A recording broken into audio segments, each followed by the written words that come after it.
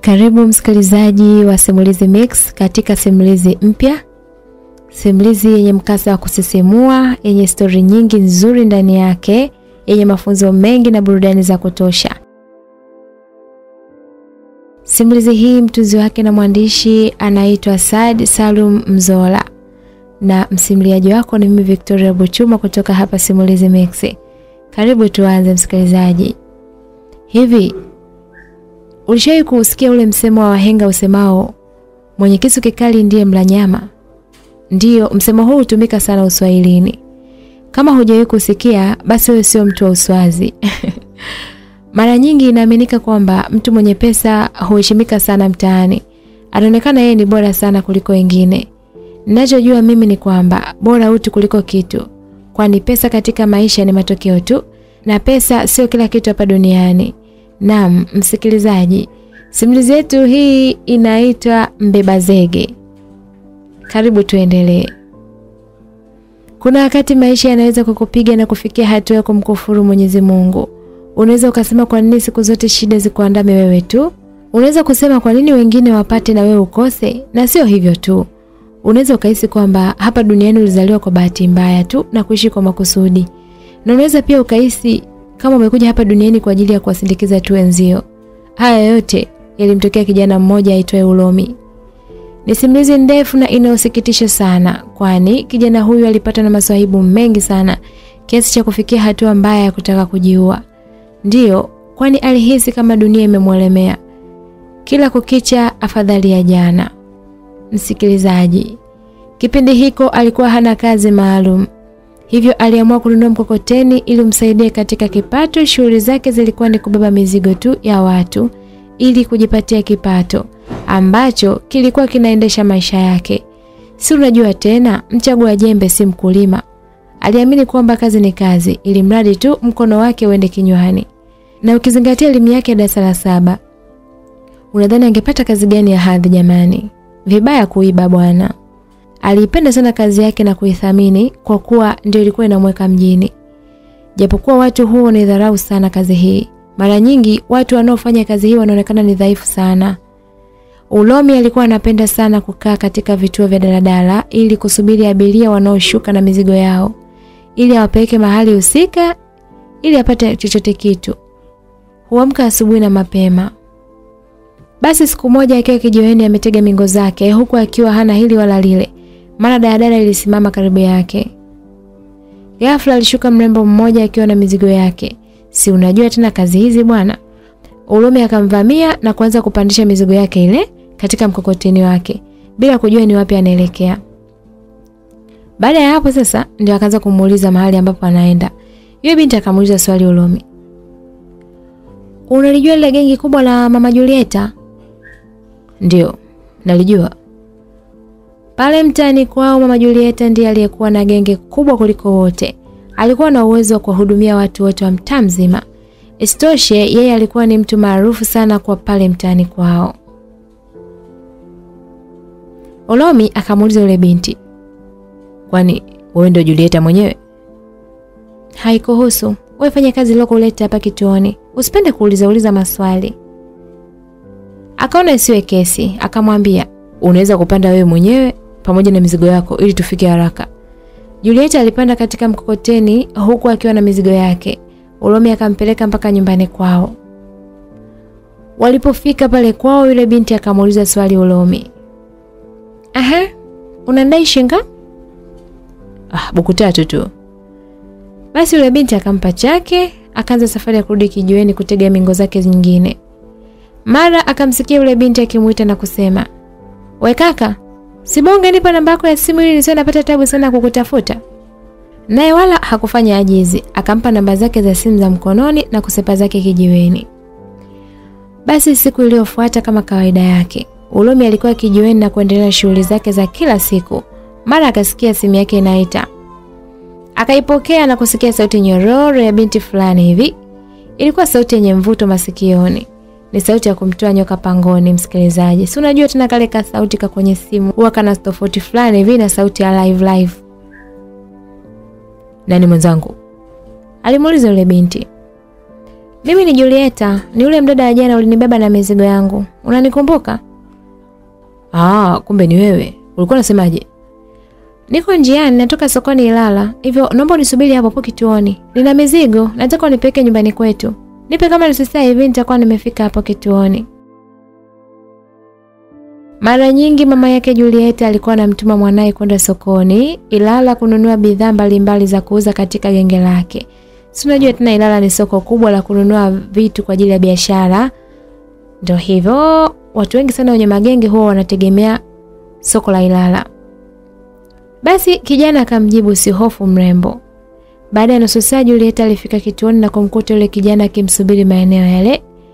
Akachukua mzigo yake na kumpandisha katika mkokoteni wake na kumpeleka nyumbani kwao. Baada ya muda mfupi walikuwa wameshazoeana na Julieta bwana.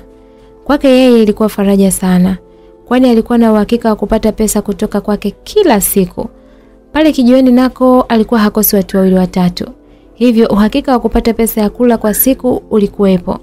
Alikuwa na furaha sana kijana wetu. Msikilizaji, siku moja Julieta alimkuta Ulomi pale kituoni kama ilivyo ada. Wakati anampelekea mizigo yake nyumbani kwao akamuuliza swali. Kwani wewe unaitwa nani? Na hapa mtaani unakaa maeneo gani? Nilikuwa nataka kujua. Mimi naitwa Ulomi Masawe. Nakaa mtaa wa pili hapo. Unaitwa Virobo. Nyumba namba 44. Ah, nashukuru kukufahamu. Maana siku zote hizo jamani hata nilikuwa sijui jina lako. Naye akamuuliza, Kwani kwenye simu yako amenisave jina gani?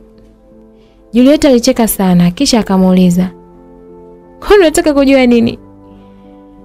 Ah, mimi nimeuliza tu. Nimekusave Guta, lakini kwanza leo nitabadilisha na na kuandika Ulomi. Pale pale Ulomi akaanza kucheka. Katika mazungumzo yao, Ulomi akaona sasa hii ni fursa. Ndo naye anatakiwa kuitumia vizuri. Akamuuliza swali. Ni lini sasa utakuja kunitembelea? Julieta akamjibu kijana kwa kebehi. Kwani si tunaona kila siku? Sasa kuna lazima gani tena mimi kuja nyumbani kwako? Ah, asante kwa majibu yako. Mara akamsikia Julieta akisema, "Usikasirike Ulomi. Mungu akipenda, Jumapili ijayo nitakuwa mgeni wako. Naomba uniamini." Basi Ulomi alifurahi sana baada ya kusikia maneno yale kwa maana kila Jumapili huwa ndio siku yake ya kupumzika. Akamfikisha mpaka nyumbani kwao na kumshushia mizigo yake yote na kuamua kurudi tena kijiweni kwake.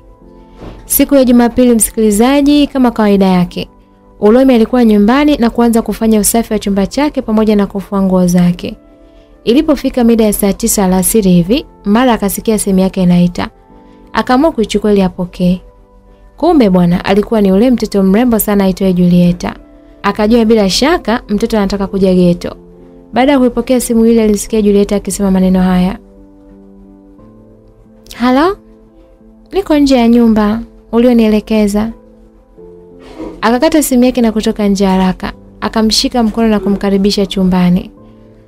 Baada ya Julieta kupajua tu nyumbani kwa Ulomi, unadhani ni kitu gani kilifuatia msikilizaji? Sitaki kumalizia uhondo. Ulomi hakuamini macho yake, yaani mtoto mkali kama Julieta anayefukuziwa na kila mwanaume mtaani, lakini akaamua kuwatosa na kuzama katika geto la msela asiyekuwa na mbele wala nyuma. Ndivyo ilivyokuwa, japokuwa alikuwa anahisi kama yuko ndotoni. Karibu mrembo. Ulomi alimkaribisha kwa bashasha huku akimmiminia misifa kama yote. Ah, asante sana Ulomi. Leo nimefurahi sana kupajua nyumbani kwako. Uko poa lakini? Ah, mimi niko poa tu, sijui wewe. Mimi mzima. Okay, nikuletee kinywaji gani? Ah, hapana. Sihitaji kinywaji chochote kwa sasa. Usinifanyie hivyo bwana. Mgeni gani unakuja na kisirani hivyo? Hebu niambie. Usijali Ulomi. Mbona niko fresh tu? Haiwezekani. Kumbuka hii mara yako ya kwanza kuja nyumbani. Hivi tutafika kweli? Ulomi alijaribu kutupia swaga katika ukaribisho. Alikuwa anaweka kilainishi. Okay, naomba niletee maji basi. Julieta akaamua bora anywe maji tu. Ulomi akatoka nje fasta na kwenda kumletea maji makubwa ya Kilimanjaro akampa.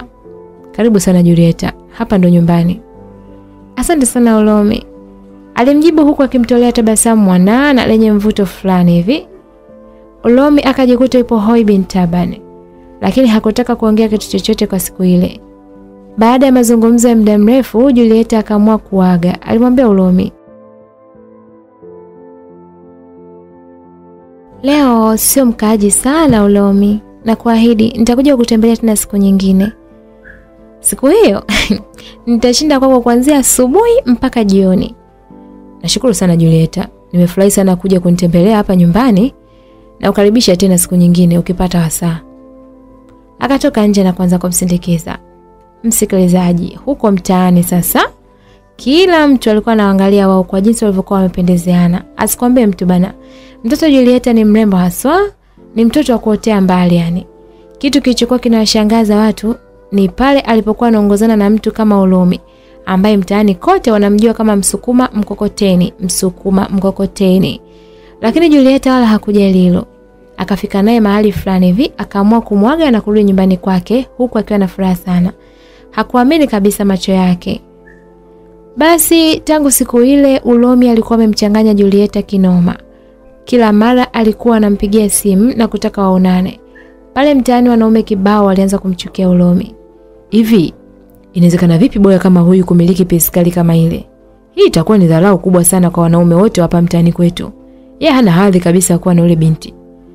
Hayo ni baadhi ya maneno ya maduanzi wa mtaa. Walikuwa wanamwonea wivu kinoma. Inakuwaje msukuma mkokoteni amiliki kifaa kikali kama kile? Ah. He?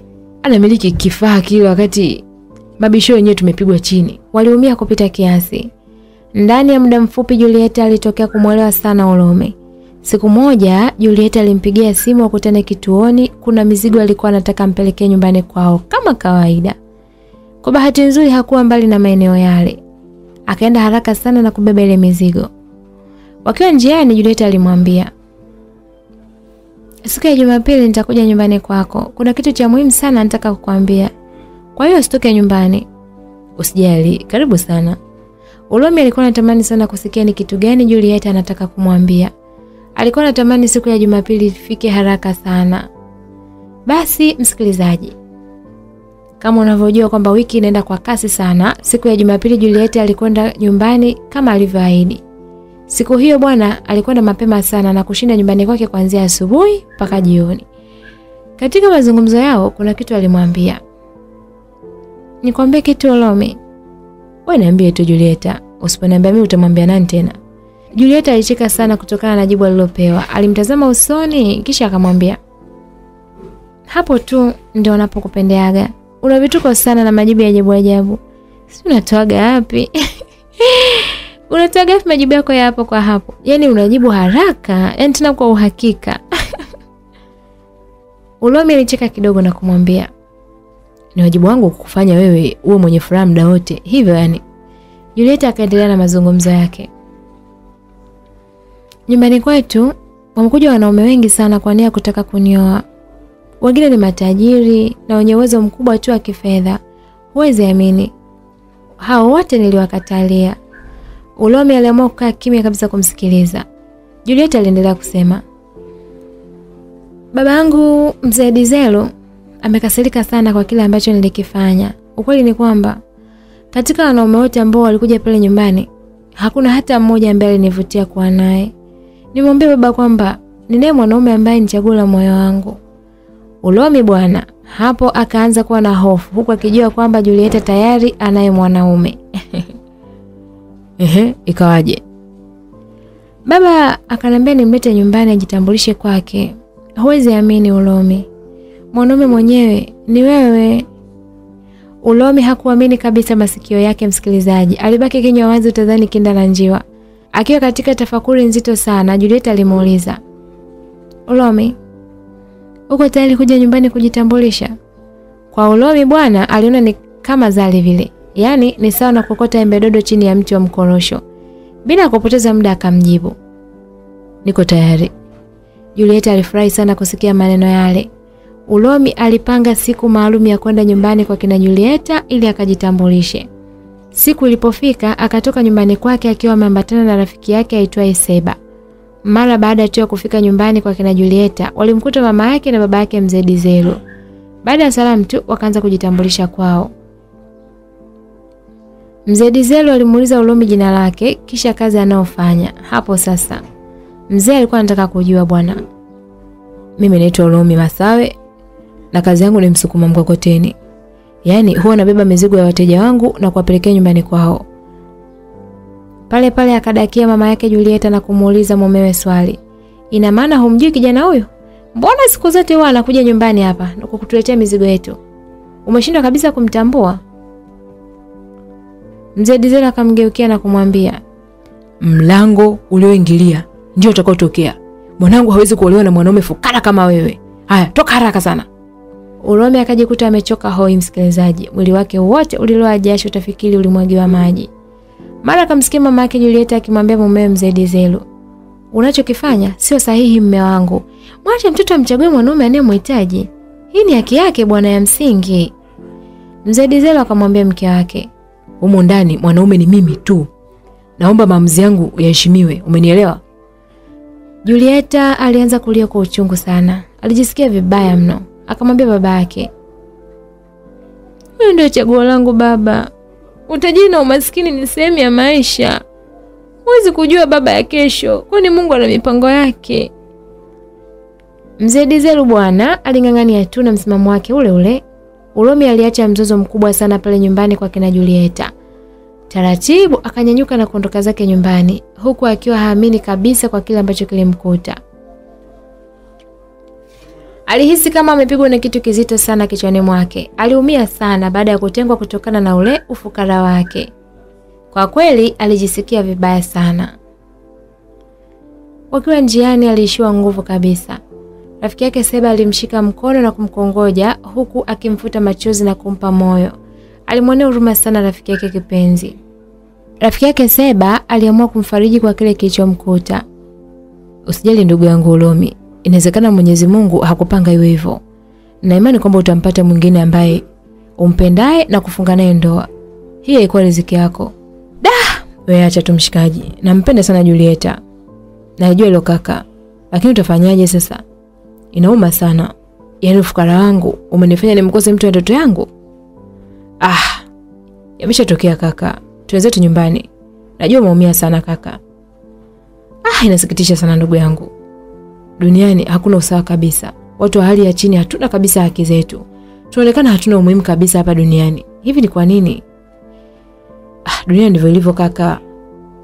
Seba alimwambia. Alipofika nyumbani kwake, Ulomi akaingia chumbani na kujifungia kwa ndani yake. Alikuwa anawaza mambo mengi sana kichwani mwake. Kweli nimeamini mkono mtupu haulambwi na ubinadamu wa mtu ni kitu, msikilizaji. Akiwa katika tafakari nzito sana kule chumbani kwake, mara simu yake ya mkononi ikaita ghafla. Akaichukua ili kutaka kuipokea, kumbe alikuwa ni yule binti mrembo Julieta. Halo, uko wapi? Sauti yake ilisikika kwa mbali, huku akiwa analia, maana ilikuwa ni mikwaruzo fulani hivi. Niko nyumbani kwangu. Akamjibu Julieta baada ya yeye kutaka kujua mahali ambapo yupo. Alimsikia akisema, nisubiri hapo hapo, nitafika kwako baada ya dakika tano. Naomba usiondoke popote pale. Huyu anataka nini? Mbona anataka kuniletea msala? Babake ashamkataza kuwa na mahusiano na mimi. Asije kuniponza bure. Ulomi alikuwa anaongea peke yake chumbani. Hapana Julieta. Ni kitu gani ambacho kinakuleta? Wewe una hadhi kabisa ya kuwa na mimi. Ulomi alimwambia Julieta. Nani kasema umume wako na ujua mimi? Mimi ndio najua umuhimu wako peke yangu. Okay. Inawezekana wewe unaniona mimi ni mtu wa thamani sana. Lakini si kwa baba yako.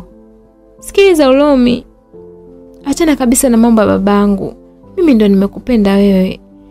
Julieta alitoka nyumbani kwao na kwenda nyumbani kwa ule kijana aitwaye Ulomi. Huku nyuma sasa, Ulomi alijiuliza maswali mwenyewe kichwani bila kupata majibu. Julieta anaupata wapi ujasiri huu wa kupingana na babake? Kwa nini anajiamini? Msikilizaji, baada ya dakika tano akasikia mlango wa chumba chake unagongwa. Akanyanyuka na kwenda kufungua. Kumbe bwana alikuwa ni Julieta. Pole sana Ulomi kwa aliyokukuta. Samahani sana kwa jinsi babangu alivyokudhalilisha. Usiofu Julieta, ni mambo ya kawaida tu. Unajua nini Ulomi? Baba yangu anataka niolewe na rafiki yake mmoja hivi. Huyo jamani mtu mzima lakini ana pesa nyingi sana. Mimi sijampenda lakini baba ananilazimisha tu. Kwa hiyo utafanyaje Julieta? Ni bora ukubali kuolewa ili usije kukorofishana na babako. Unasemaje wewe? Ndiyo, ndo maana yake hiyo. Babako hataki kabisa kuniona mimi wala kuwa na wewe. Alikasirika sana baada ya kumwambia vile, Julieta akaamua kuondoka zake bila kuaga. Siku iliyofuata sasa, yule mzee aliyetaka kumwoa Julieta alienda mpaka nyumbani kwa mzee Dizelu kupeleka posa. Julieta aliitwa na baba yake na kupewa taarifa ile. Je, uko tayari kuolewa? Babake alimuuliza swali. Ndiyo, niko tayari, lakini na Ulomi. Unasemaje wewe? Ndiyo, kama ulivyosikia. Baada ya kusema hivyo, Julieta akatoka nje. Julieta alikataa kata kata, lakini baba yake alimlazimisha bila mafanikio. Mara Ulomi akasikia simu yake inaita kwa namba ngeni, akaanza kujiuliza ni nani huyu, akaipokea. Mara akasikia kijana mmoja hivi anamuuliza, halo, wewe ndio Ulomi? Ndio. Ni nani wewe? Naye akamuuliza. Yule kijana alimtolea maneno ya vitisho sana kwake. Alimwambia kwamba iwapo utaendelea kuwa na mahusiano ya kimapenzi na Julieta utapoteza uhai wake. Ulomi akaanza kujiuliza ni nani huyu? Akaanza kupatwa na hofu kubwa sana. Jamaa akakata simu na kumwacha Ulomi akiwa katika sintofahamu kubwa sana. Alichanganyikiwa vibaya mno. Alikuwa hajui yule ni nani. Kwa nini azungumza juu ya mahusiano yake na Julieta? Na kwa nini atoe vitisho vikali sana? Msikilizaji, kila mara yule jamaa alikuwa anampigia simu na namba ile huku akimtolea vitisho. Ulomi akaona sasa maisha yake yako mashakani, ni bora tu ahame mtaa ule na kwenda kuishi mbali. Muda ule ule akatoka na kwenda nje kumtafuta dalali amtafutie chumba mahali pengine kabisa. Ni nje kidogo na ule mtaa anaoishi. Kwa bahati nzuri, Ulome alipata chumba mtaa mmoja hivi uitoo Chambala. Ni mbali kidogo na mtaa ule wa Virobo. Akaamua kutafuta laini nyingine kabisa ya simu na kuachana na ile ya zamani. Hakutaka usumbufu tena kutoka kwa Julieta wala yule jamaa aliyekuwa anamtolea maneno ya vitisho. Julieta alimtafuta sana Ulomi bila ya mafanikio. Alikuwa anakwenda mara kwa mara pale alipokuwa amepanga zamani, lakini sasa hakumkuta. Aliwauliza wapangaji wenzake, nao wakamwambia kwamba Ulomi amehama pale. Aliwauliza amehamia wapi, nao wakamjibu hatufahamu, maana alihama ghafla bila ya kuaga. Ulomi alikuwa anawasiliana na rafiki yake Seba, kwani yeye alikuwa hakai mbali sana na mtaa aliokuwa anaishi Julieta.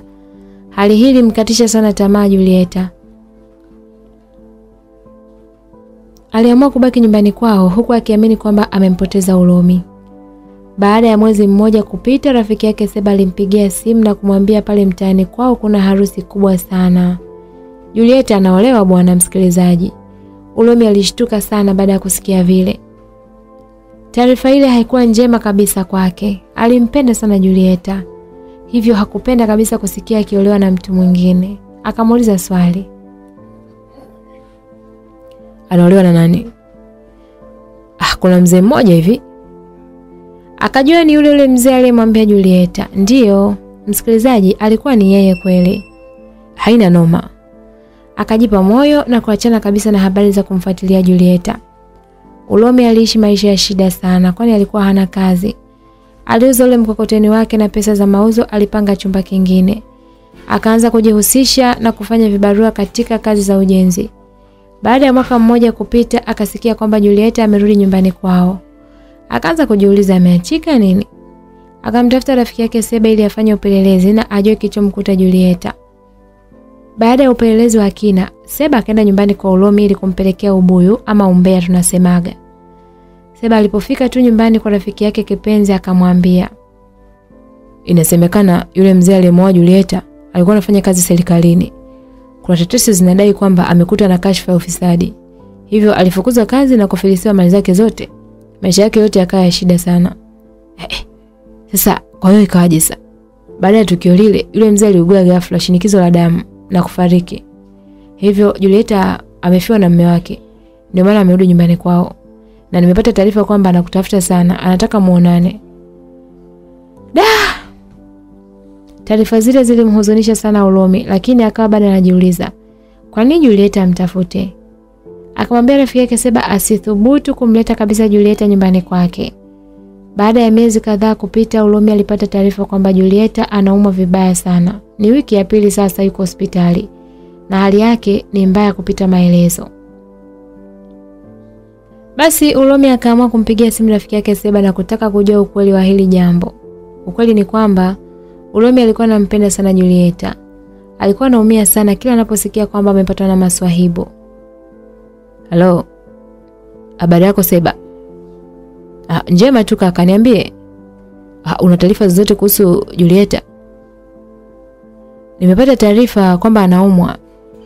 Hivi nilikuwa nataka kukupigia simu ili nikufahamishe juu ya hili. Kumbe na umepata taarifa? Kwani unampenda sana?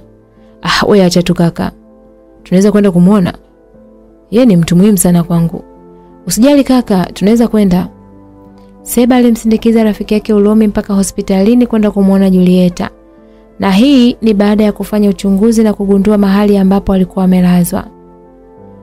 Baada ya muda mfupi wakagundua kwamba amelazwa katika hospitali ya nguvu kazi iliyopo maeneo ya Chenika. Walienda mpaka mapokezi na kuulizia jina la Julieta. Mhusika wa pale mapokezi akawaambia Julieta amelazwa katika wodi namba 4. Wakaamua kwenda. Walipofika wodi namba 4 wakamkuta Julieta akiwa katika hali mbaya sana. Wakamtafuta daktari wa zamu na kumuuliza, Dokta, Julieta anasumbuliwa na tatizo gani? Kwani ninyi ni kina nani wake? Sisi ni ndugu zake. Tumepata taarifa kwamba Julieta anaumwa sana, hivyo tumekuja kumuona. Ah. Julieta anasumbuliwa na tatizo la figo. Figo moja limejaa maji na kushindwa kabisa kufanya kazi. Ni tatizo kubwa sana. Iwapo litakosa ufumbuzi, basi Julieta anaweza kupoteza uhai wake. Olome alichanganyikiwa sana baada ya kusikia vile. Kijasho chembamba kikaanza kumtoka. Kwani wazazi wa Julieta wako wapi? Ah, baada ya kujua tatizo linalomsumbua mtoto wao, wametoka nje kwenda kutafuta mtu atakayeweza kutoa figo yake moja ili apatiwe mtoto wao. Na wamesema wako tayari kumlipa kiasi chochote kile cha pesa mtu atakayekubali kutoa figo yake moja ili awekewe mtoto wao. Kwa nini mmoja kati ya wazazi wake asitoe figo yake kwa ajili ya kumwekea mtoto wao? Ah, wazazi wake wote wawili walikuwa tayari kabisa kutoa figo zao, lakini sasa tulipowafanyia vipimo tukagundua kwamba iwapo watathubutu kutoa figo zao wanaweza kupoteza maisha muda mfupi baadaye. Ulomi akamuuliza daktari kama kutakuwa na uwezekano wa yeye kutoa figo yake moja kwa ajili ya kumsaidia yule binti Julieta. Hakuna tatizo kabisa, kama uko tayari twende nikakufanyia vipimo ili kujua kama figo zako ziko salama. Na kama kutakuwa na uwezekano wa figo yako moja kufanya kazi baada ya kutolewa nyingine, wewe ni mtu mwema sana kijana. Wakaingia katika chumba fulani na daktari akamfanyia vipimo. Kwa bahati nzuri akaonekana yuko salama na anaweza kutolewa figo yake moja na kupewa yule binti Julieta. Wakati haya yakiendelea, Julieta alikuwa katika hali mbaya sana. Alikuwa hamjui mtu anayeingia udini wala kutoka. Wazazi wa Julieta walitumia pesa nyingi sana ili kunusuru uhai wa mtoto wao. Ilifikia hatua mpaka genge lao kubwa walilokuwa wanalitegemea nalo lilifilisika kabisa.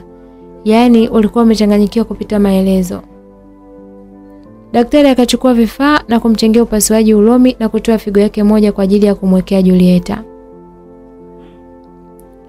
Mara wazazi wake Julieta alikuja udini. Walishangaa sana baada ya kumkosa mtoto wao. Walijua labda ameshafariki dunia na maiti yake imepelekwa mochwari. Walipoulizia waliambiwa yupo katika chumba maalum anabadilishiwa figo nyingine. Madaktari wanaangaika kwa ajili yake na kuhakikisha Juliet anakuwa salama. Wakaanza kujiuliza maswali. Ni nani kajitolea figo jamani na kumpa mtoto wetu? Mbona hatuna taarifa juu ya hili? Walijiuliza maswali mengi sana bila kupata majibu. Baada ya muda mfupi, Juliet alirudishwa udini akiwa mzima kabisa. Wazazi wa Julieta walimuuliza daktari ili kujua ni kitu gani au ni mtu gani ambaye alijitolea figo kwa ajili yake. Kwao ni mtu muhimu sana, daktari aliwaambia. Mtamjua baada ya kumaliza matibabu. Ulomi alipelekwa odini huku akiwa chini ya uangalizi wa madaktari bingwa hospitali ile. Walikuwa wanafuatilia kwa ukaribu mwenendo wa afya yake mara baada ya kutolewa figo yake moja na kuwekewa Julieta. Wote wawili walikuwa pale hospitalini huku wakiendelea na matibabu. Ni Ulomi pekee ndiye aliyekuwa anajua yuko katika hospitali moja na Julieta, lakini Julieta alikuwa hajui kitu, yaani hakujua chochote kile. Baada ya muda mfupi, Julieta alitolewa pale hospitalini na kurudishwa nyumbani kwao, lakini alipangiwa tarehe maalum za kuja hospitalini ili kujua mwenendo wa afya yake. Ulomi naye alitolewa hospitalini baada ya hali yake kutengemaa na kupangiwa tarehe maalum awe anakwenda kuangalia afya yake inavyoendelea baada ya kubaki na figo moja, yani clinic. Julieta na wazazi wake walikuwa wanamsumbua sana daktari ili awatajie mtu aliyejitolea kutoa figo yake moja ili apatiwe mtoto wao. Daktari wala hakuwa tayari kusema. Basi msikilizaji, siku moja Ulomi alienda hospitalini kufanyiwa vipimo kwa mara ya mwisho. Daktari akamwambia yuko salama kabisa na anaweza kuendelea na shughuli zake kama kawaida. Kisha akamwambia juu ya usumbufu anaoupata kutoka kwa wazazi wa Julieta. Wanataka kumjua mtu aliyejitolea kutoa figo yake ili apatiwe mtoto wao kipenzi. Ulomi alimwachia daktari namba ya simu na kumwambia wakija wazazi wa Julieta awape. Basi msikilizaji, siku moja akiwa nyumbani kwake, Ulomi alipigiwa simu na namba ngeni kabisa. Halo, habari yako kijana? Njema tu, mzima? Niko salama. Mimi ni mzazi wa Julieta, kama itawezekana naomba tuonane. Ni kitu gani kinaendelea? Au hali ya Julieta imebadilika? Niambie kitu, nataka kujua. Hapana, hali yake ni njema tu, bali nilikuwa nataka kuonana na wewe ili nikujue, kwani wewe ni mtu muhimu sana kwangu na kwa binti yangu Julieta.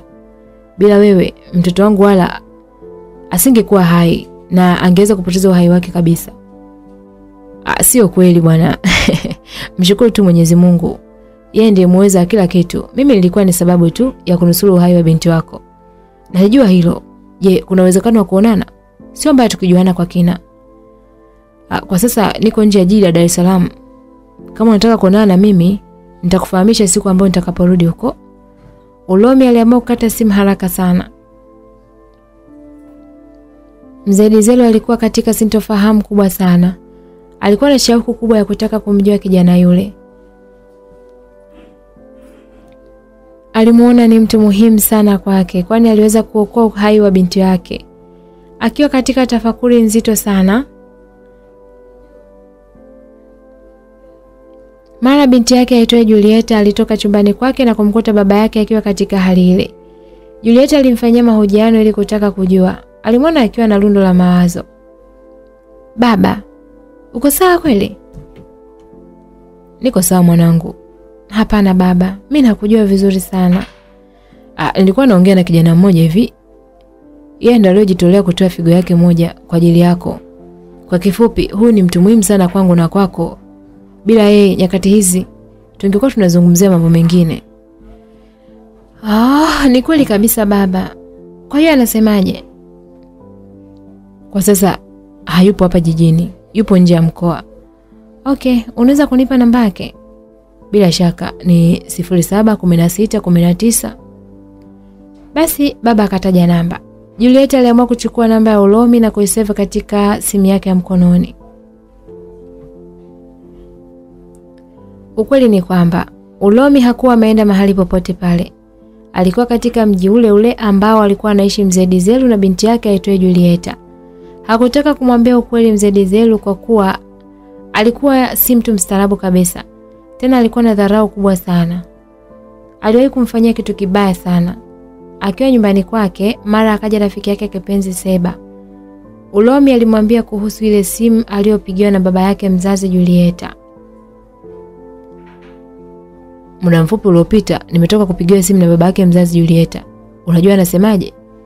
Yaani mtu ajabu sana. Ehe. Namba yako kaipata wapi? Na anataka nini kwako? Hebu nipe simulizi. Ah, na hizi alipata kwa yule daktari ambaye alinitoa figo yangu moja na kumpatia mwanae Julieta. Ehe, afu ikawaje? Kwanza alijitambulisha, kisha akasema anataka kuonana na mimi. Amesema kwamba mimi ni mtu muhimu sana kwake na kwa binti yake. Eti kwa kuwa tu nijitolea binafsi figo yangu moja bila gharama yoyote ile. kwa binti yake kipenzi Julieta. Tena amesisitiza kwamba bila ya mimi binti yake angepoteza uhai wake. Nilijiuliza maswali mengi sana kichwani mwangu bila kupata majibu. Da, mwana. Ina maana sasa ndo anajua muhimu wako. Waza wengine bwana. Ah, ndo hivyo, afu nini? Unajua mpaka sasa hajui kama anaongea na nani. Na siku akija kujua, sijui itakuwaje. Nataka tu nimuonyeshe kwamba chini ya jua usimdharau usiyemjua. Na sio hivyo tu. Tena anatakiwa ajue kwamba hakuna mtu ambaye anajua kesho yake. Na utu ni bora sana kuliko kitu. Dunia ni ajabu sana. Haya yalikuwa ni maneno ya rafiki yake Seba. Waliongea mambo mengi sana juu ya mzee Dizelu. Ulomi alikuwa ni kijana wa ajabu sana. Hakuwa na kinyongo kabisa na mzee Dizelu. Alijua kabisa yule mzee alikuwa hajui alitendalo. Zilipita siku kadhaa huku Ulomi akiendelea kuishi maisha ya kubangaiza ya kutokuwa na kazi maalum. Tena kipindi hiki ndio alikuwa na maisha magumu zaidi, kwani alikuwa ameuza ule mkokoteni wake kwa ajili ya kupanga chumba. Aliishi maisha ya shida sana. Siku moja akiwa katika mihangaiko yake ya kutafuta kibarua, alikutana na kijana mmoja hivi ambaye ni fundi ujenzi. Ulomi aliamua kumfuata na kufanya naye mazungumzo. Habari yako kaka? Njema, tuniambie. "Ah, Niko poa. Kwa jina naitwa Ulomi. Hapa nilipo sina nyendo kaka. Hali yangu ya maisha ni mbaya sana. Kwani sina hili wala lile. Kula yangu ya shida sana. Kodi ya pango inakaribia kuisha. Nilikuwa naomba kibarua cha kusaidia fundi. Niko tayari kulipwa kiasi chochote. Yule fundi ujenzi alimtazama usoni, akamwonea huruma sana, kisha akamwambia, kazi ya ujenzi ni ngumu sana. Je, uko tayari? Hakuna tatizo kaka. Hakuna binadamu aliyezaliwa anajua kila kitu. Ni kujifunza tu. Okay, unaweza ungana na mimi pamoja na hawa vijana wangu. Chochote kitakachopatikana tutagawana. Unaweza kuanzia leo au unaweza ukaja kesho yake. Usijali kaka, niko tayari kuanza leo leo. Basi sawa, badilisha mavazi yako na uvae nguo za kazi. Wanaume tumeumbiwa mateso. Huwezi amini msikilizaji, Ulomi akajikuta anafanya kazi ambayo hakuwahi kuifanya hata siku moja. Siku ile ya kwanza alipata tabu sana, kwani alikuwa hajui chochote, lakini alionyesha uvumilivu kwa kujituma na kufanya kazi kwa bidii sana. Siku zote shida huleta uvumbuzi. Ilipofika jioni, alipata kiasi cha shilingi elfu kumi. Alimshukuru sana yule fundi ujenzi. Asante sana brother, angalau siku ya leo nina uhakika wa kula. Kweli nimeamini Mwenyezi Mungu amtupe mja wake. Jioni njema. Ulomi aliaga na kuondoka. Yule fundi alimwambia kwamba aende tena siku inayofuata kwa kuwa alimvutia sana kutokana na juhudi zake kazini. Siku iliyofuata Ulumi aliamka asubuhi na mapema na kuwahi kazini. Ndani ya muda mfupi alikuwa ni mfanyakazi mzuri sana. Aliweza kujua kazi yake ya ujenzi kwa haraka sana. Siku moja yule fundi alimpigia simu Ulumi na kumtaka awahi sana kazini. Halo, kesho kuna mali tunaenda. Ni nje kidogo na hili eneo letu. Kuna kazi tunaenda kufanya. Hakikisha unawahi mapema sana. Hakuna tatizo kaka, nitafanya hivyo. Siku iliyofuata Ulomi alitoka nyumbani kwake mapema sana na kuwahi kazini. Walienda kufanya kazi mahali fulani hivi panaitwa Zingiziwa. Ni nje kidogo ya jiji la Dar es Salaam. Kwa wakazi wa Chanika katika wilaya ya Ilala watakuwa wanapajua mahali hapa. Siku hiyo kulikuwa na kazi kubwa sana ya kupaka rangi jumba moja la kifahari sana. Hili lilikuwa ni jumba la tajiri mmoja aitwaye Douglas. Mara baada ya kufika akabadilisha nguo zake na kuvaa nguo za kazi. Mara kazi ya kupaka rangi jumba kubwa la kifahari ikaanza. Wakiwa wanaendelea na kazi, mara bosi wa jumba lile alikuja na binti yake aitwaye Anita. Alikuwa ni binti mzuri sana, alivalia mavazi yake ya kuvutia mno. Sio siri, muonekano wake uliwafanya mafundi wote kupoteza mwelekeo, kama tunavyojua mafundi bwana. Habari yako fundi? Njema tu mkuu, karibu sana. Asante, naona kazi inaendelea. Ya, ndio kama unavyoona. Okay, huyu ni binti yangu anaitwa Anita. Yeye ndiye atakuwa msimamizi wa nyumba hii kwa sasa. Mimi kesho nitasafiri na kwenda London kikazi. Naomba mumpe ushirikiano wenu. Usijali kuhusu hilo kiongozi. Kila kitu kitenda sawa sawa kabisa. Karibu sana dada Anita. Asante sana fundi. Habari zenu jamani. Yule binti aliwasalimia. Ni nzuri tu dada, uko poa? Namshukuru Mungu. Sauti nyororo isiyokuwa na mikwaruzo na yenye mvuto masikioni mwao kama yangu ilisikika kutoka kwake. Ilikuwa ni sauti ya kumtoa nyoka pangoni. Ni sauti ya mahaba hasa, na kwa jinsi alivyokuwa mnono, utadhani mbuzi wa shughuli. Mafundi wote walibaki hoi bin taban. Ulomi hakuonyesha udhaifu wowote ule. Yeye alikuwa anaendelea tu kufanya kazi. Anita alimtazama kisha akaanza kutabasamu. Muda mfupi baadaye baba yake akaaga na kuondoka na kumwacha Anita. Muda wote Anita alikuwa makini sana kumtazama Ulomi. Baada ya kupita kama dakika tano hivi Anita alimuuliza swali Ulomi. Samani kaka, unaitwa na? Bila samani bosi, naitwa Ulomi. Namba kanunulie vocha ya Tigo. Usijali bosi Anita. Yule binti alitoa noti ya shilingi elfu kumi na kumwagiza Ulomi vocha shilingi elfu tano. Ndani ya muda mfupi Ulomi aliweza kurudi na kumpatia ile vocha yake ya Tigo. Anita alipokea huku akiendelea kumtazama Ulomi. Samani kaka, unaweza kunikwangulia? Ah, sio kukwangulia, naweza hata kukuingizia. Anita alimtolea Ulomi tabasamu murua kabisa kisha akamwambia maneno haya. Kumbe unaongea sana. Nilipofika hapa nilikuwa upo kimya sana. Hongera. Ulomi akajikuta na yeye anatoa tabasamu lake. Muda huo mafundi walikuwa katika mapumziko. Yule binti alipata nafasi ya kuwa karibu sana na Ulomi. Ndani ya muda mfupi wakajikuta kama wamezoeana hivi. Baada ya nusu saa, yule binti aliwaga mafundi na kuambia kwamba atakuja siku inayofuata.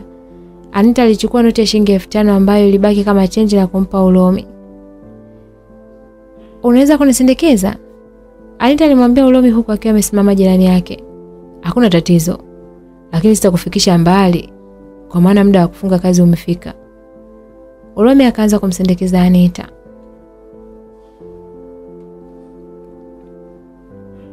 Huku nyuma fundi mkuu akiwa na vijana wake walianza kuongea. Huyu binti anaonekana amekolea kwa Ulomi, yaani kuna kila dalili kabisa ya kumtaka kimapenzi. Ya, ni kweli kabisa. Ukisikia zali la mentali ndio hili. Alafu mtu mwenyewe pisikali kishenzi. Sijui amevutiwa na kitu gani kutoka kwake. Mapenzi kitu cha ajabu sana. Wakaamua kufungua kikao cha dharura kwa ajili ya kumjadili Ulomi, lakini si kwa mabaya. Wewe ni mwenyeji wa huko Zengezewa? Anita alimuuliza swali Ulomi. Hapana, mimi si mkazi wa huku. Naishi katika mtaa mmoja hivi uitoo Chambala. Ni baada ya kushuka katika kituo cha nguvu kazi hapo kilichopo pale hospitali ya kata Chanika. Huku nimekuja kufanya kazi tu. Ah, okay. Una muda gani sasa katika huu fundi? Ni muda mfupi sana. Kwanza mimi sio fundi. Mimi ni msaidizi wa fundi. Sina ujuzi wowote ule. Okay. Napenda sana mtu mkweli. Kama ni hivyo basi sawa. Unaweza kuja kuishi nyumbani kwetu Masaki? Kuna kazi nataka nikupe pale nyumbani kwetu Masaki. Ni kazi rahisi sana na utaipenda. Nitakulipa vizuri sana. Na imani kwamba utafurahia kazi yenyewe. Ah, mimi sina tatizo Anita. Naweza kufanya kazi yoyote ile, ili mradi tu nipate pesa kwa ajili ya matumizi yangu. Kwa hiyo mimi sichagui kazi. Ah, okay. Hebu nipe namba yako ya simu basi. Namba yangu ni sifuri sita. Ulobi kataja namba yake bwana. Usijali, nitakupigia baada ya kufika nyumbani. Nakutakia jioni njema Ulomi. Asante sana. Nawe pia mrembo. Lakini kuna kitu nilitaka kusahau. Kitu gani tena Anita? Naomba usimwambie mtu yoyote kuhusu haya mazungumzo yetu. Naomba uwe msiri sana. Nisingependa mtu mwingine ajue hilo. Imeisha hiyo Anita. Friji langu linagandisha kinoma. Naomba uwe na amani kabisa. Anita akachukua bodaboda na kwenda katika kituo cha daladala kilichopo pale Zingiziwa. Kisha akaanza safari ya kurudi nyumbani kwao kwa kutumia usafiri wa daladala. Si kwamba yeye ni choka mbaya, la hasha. Aliamua tu kujichanganya na watu wa Uswahilini. Kwani nyumbani kwao ni everything. Ulomi naye aliamua kurudi kambini kwake kwa ajili ya maandalizi ya kufunga kazi na kurudi nyumbani. Sasa baada ya kufika tu pale kambini, fundi mkuu akaanza kumzingua na vijineno vyake vya utani. Ah, naona kama sisimizi vile anakwenda kuangusha kabati. Ndani ya muda mfupi tu mtoto kakolea kwako. Wataka upewe nini mdogo wangu? Ulomi akaanza kucheka na kusema, "Hapana bwana bro, ni vijimambo tu. Mtoto mkali kama yule hawezi kuwa na mtu kama mimi mchimba chumvi. nguo zangu zenyewe kauka nikuvae, nimepauka kama kipande cha mhogo. Kwenye mapenzi hakuna kitu kama hicho kaka. Unajua mapenzi ni kitu cha ajabu sana. Watu kama wale huwa wanapenda wanaume kama nyinyi. Da, haya brother, naona umeamua kuniua. Hapana mdogo wangu, nakutabilia makubwa bwana. Ah, na iwe heri bro. Zilipigwa simulizi za hapa na pale. Kisha wakafunga kazi na kuahidiana kukutana tena siku ya kesho yake kwa ajili ya kuendelea na kazi. Ulomi akaanza mwendo kuelekea katika kituo cha daladala mdogo mdogo kama kinyonga. Kichwani mwake alikuwa anawaza vitu vingi sana. Alihisi kabisa historia inakwenda kujirudia. Alikumbuka simulizi nzima yule binti mtoto mzee Dizelu aitwaye Julieta. Ilikuwa kama hivi, mwisho wa siku alinyang'anywa tonge mdomoni. Mara baada ya kufika tu nyumbani kwake, alichukua simu ya mkononi na kumpigia rafiki yake Seba. Huyu ni mtu wake wa karibu sana. Urafiki wao ulikuwa ni zaidi ya ndugu yake wa damu. Halo, habari yako Seba? Ah, ni njema tu Romi. Bila shaka una jipya, maana sio simu ya kawaida. Julieta anasemaje? Ah, achana na Julieta. Kwa sasa nina ingizo jipya. Habari ya mjini kwa sasa ni Anita. Acha bwana. Aya, niambie mzee wa kismati. Ah. Leo bwana, nilipata kazi ya kupaka rangi katika jumba moja hivi la kifahari huko Zingiziwa. Alikuja bosi na binti yake hivi anaitwa Anita. Piskali kishenzi, yani piskali kinoma. Sasa akamwacha pale kama msimamizi mkuu wa ile jengo. Kisha yakasepa na kusema kwamba anaenda London kikazi. Ah, hebu subiri kwanza. Unataka kuniambia ni mtoto akishua? Nataka kujua juu ya hilo. Ah, unauliza makofi polisi mwamba. Mtoto ni mboga saba. Ehe, ikaweje? Uweze amini. Binti akaonyesha hisia zake zote kwangu. Mafundi wote walibaki kinywa wazi, utazani wamekamatwa ugoni. Mtoto bwana kaanza kunihoji na kuniuliza maswali hapa na pale yasiokuwa hata na kichwa wala mguu. Ehe, baada ya hapo ikaaje? Ulomi alimsimulia mkasa mzima kuanzia mwanzo mpaka mwisho bila kumficha kitu chochote kile. Ndiyo, huyu ni mtu wake wa karibu sana. Ndugu yangu, hilo ni zali la mentali. Naomba uitumie vizuri hii fursa. Siku zote bahati haiji mara mbili, na imani atakuwa na msaada mkubwa sana kwako, kwani tayari ameshaonyesha njia. Nafasi kama hizi huwa adimu sana kutokea, hasa kwa watu kama sisi. Eti? Ngoja tuone. Ilikuwa ni furaha kubwa sana kati ya wale marafiki wawili wapenda nao. Ama kwa upande wa Olomi alikuwa anategemea kusikia miujiza. Baada ya kumaliza kufanya mazungumzo na rafiki yake Seba, mara alipigiwa simu na namba ngeni kabisa. Aliamua kuipokea na kumsikiliza.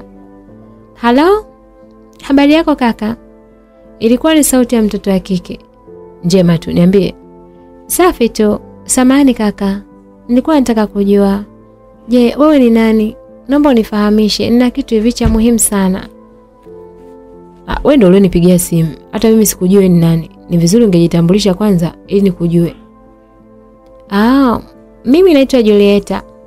Namba yangu umepata wapi? Nimepata kwa baba yangu mzee Dizelo. Oho, wewe ni ule binti ambaye ulikuwa na, na tatizo la figo na nikaamua kujitolea kwangu. Ya, ni mimi. Okay. Unajua unaongea na nani? Hapana. Hii sauti si ngeni masikioni mwangu, lakini sikumbuki nilikuona wapi. Unahisi uliniona mahali? Ya, kitu kama hiko. Kwani we ni nani?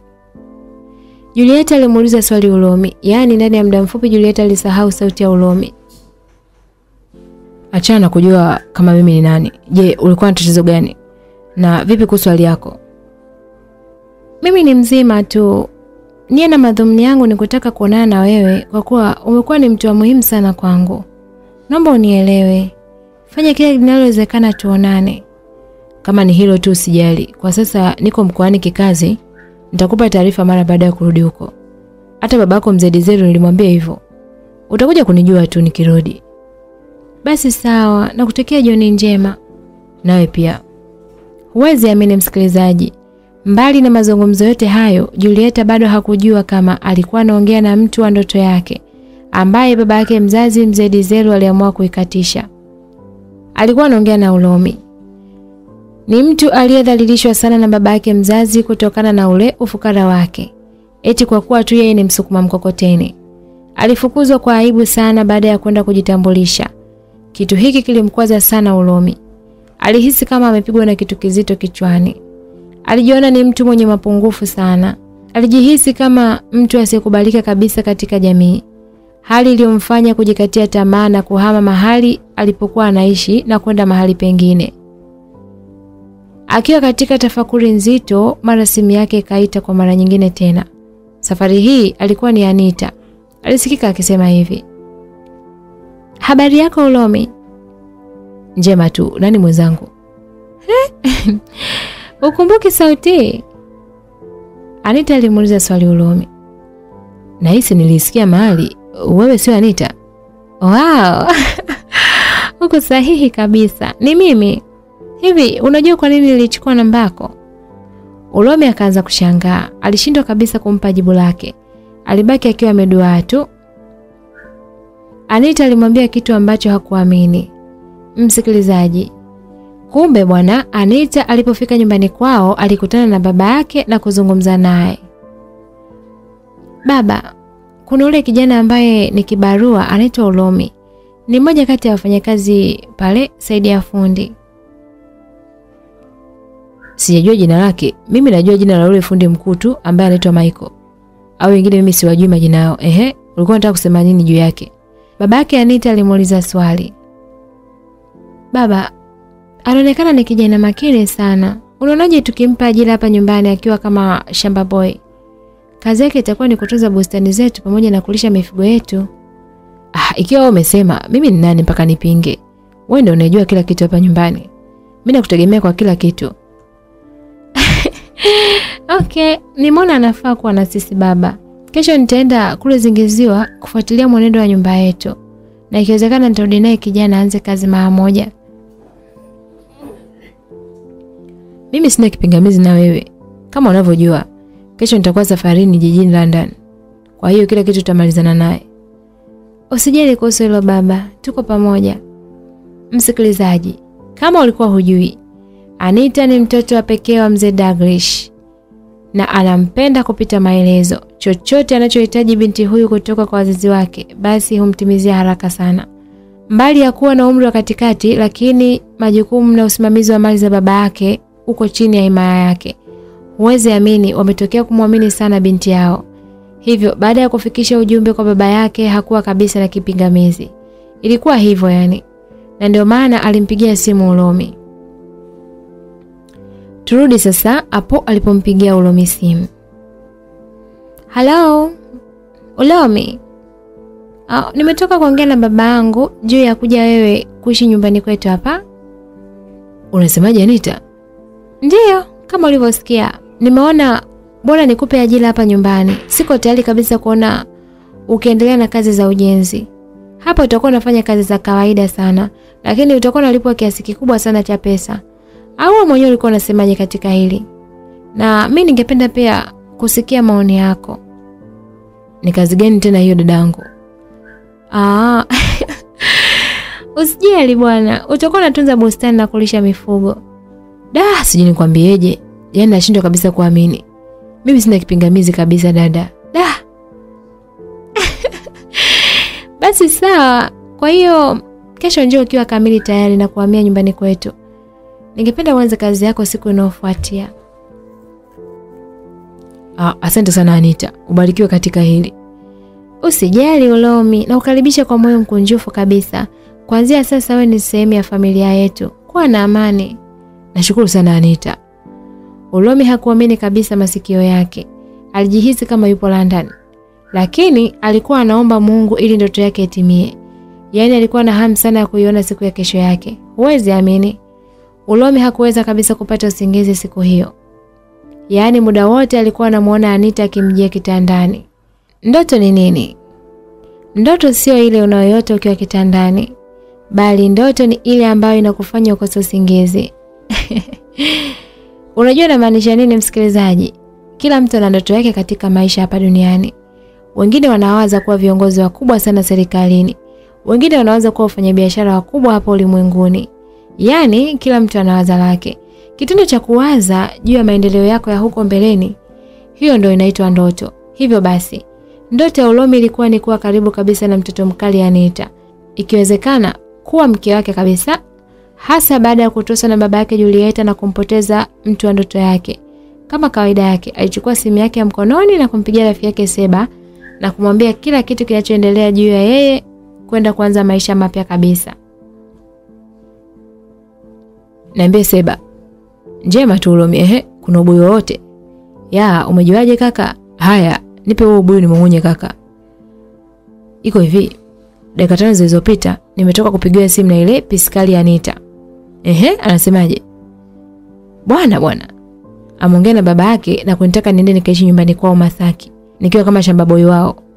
Yaani mfanyakazi wao. Kazi yangu itakuwa ni kulisha mifugo na kutunza bustani. Hii ina maana kwamba nitakuwa naishi huko siku zote. Imekaa poa kakaangu. Au unaona imekaaje? Uone kama ni ndoto ya mtende kuotea jangwani? Nitawezaje kuipoteza nafasi kama hii? Sio siri, nimechoka sana na maisha haya. Da, mshikaji, kama nakuona vile. Yaani muda si mrefu utakuwa baba mwenye nyumba. Yaani utakuwa unamiliki mtoto mkali Anita. Mm, sidhani kama hilo litatokea. Tuachane na hayo. Nilikuwa nakupa taarifa juu ya hili. Pia nilikuwa nakuomba uje ukae kwangu kipindi ambacho mimi nitakuwa huko Masaki kikazi. Ah, usijali kuhusu hilo kaka. Nitakuja huko kwa ajili ya ulinzi wa chumba chako. Kila la heri. Msikilizaji, siku iliyofuata Ulomi alitoka pale nyumbani kwake na kwenda mahali pake pa kazi huku akiwa na baadhi ya nguo zake zikiwa ndani ya begi lake kubwa. Baada ya kufika, fundi mkuu aitoe Michael alimshangaa sana, akamuuliza swali, Kulikoni ndugu yangu? Mbona uko na begi kubwa kiasi hiko? Yaani ni kama uko safarini hivi. Ni kitu gani kinaendelea kaka? Hebu nijuze kwanza. Ah, utakuja kujua muda si mrefu kaka. Dakika mbili mbele alitokea Anita huku akiwa ndani ya gari ya kifahari.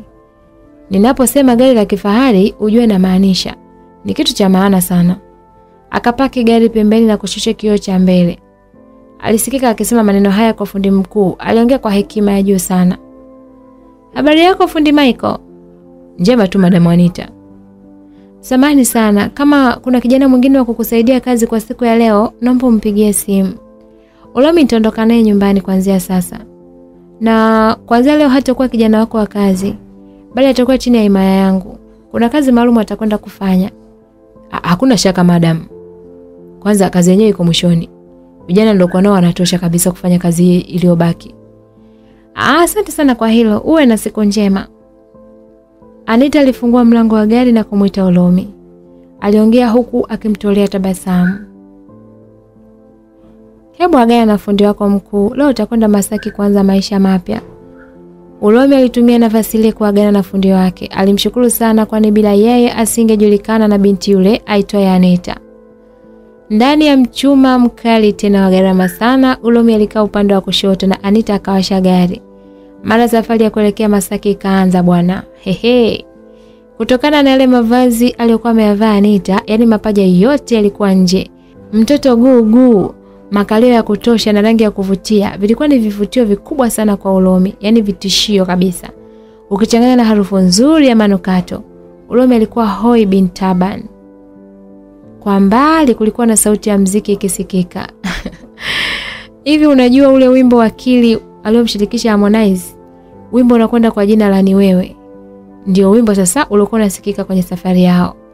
Ndani ya wimbo huu kuna mstari ulioimbwa na Harmonize aka Tembo usemao mapenzi asili yake upofu, unapopendwa hupaoni, usishangae mtu akaacha minofu na akala vya kichochoroni. Huu ulikuwa ni ujumbe tosha kwa Ulomi, msikilizaji.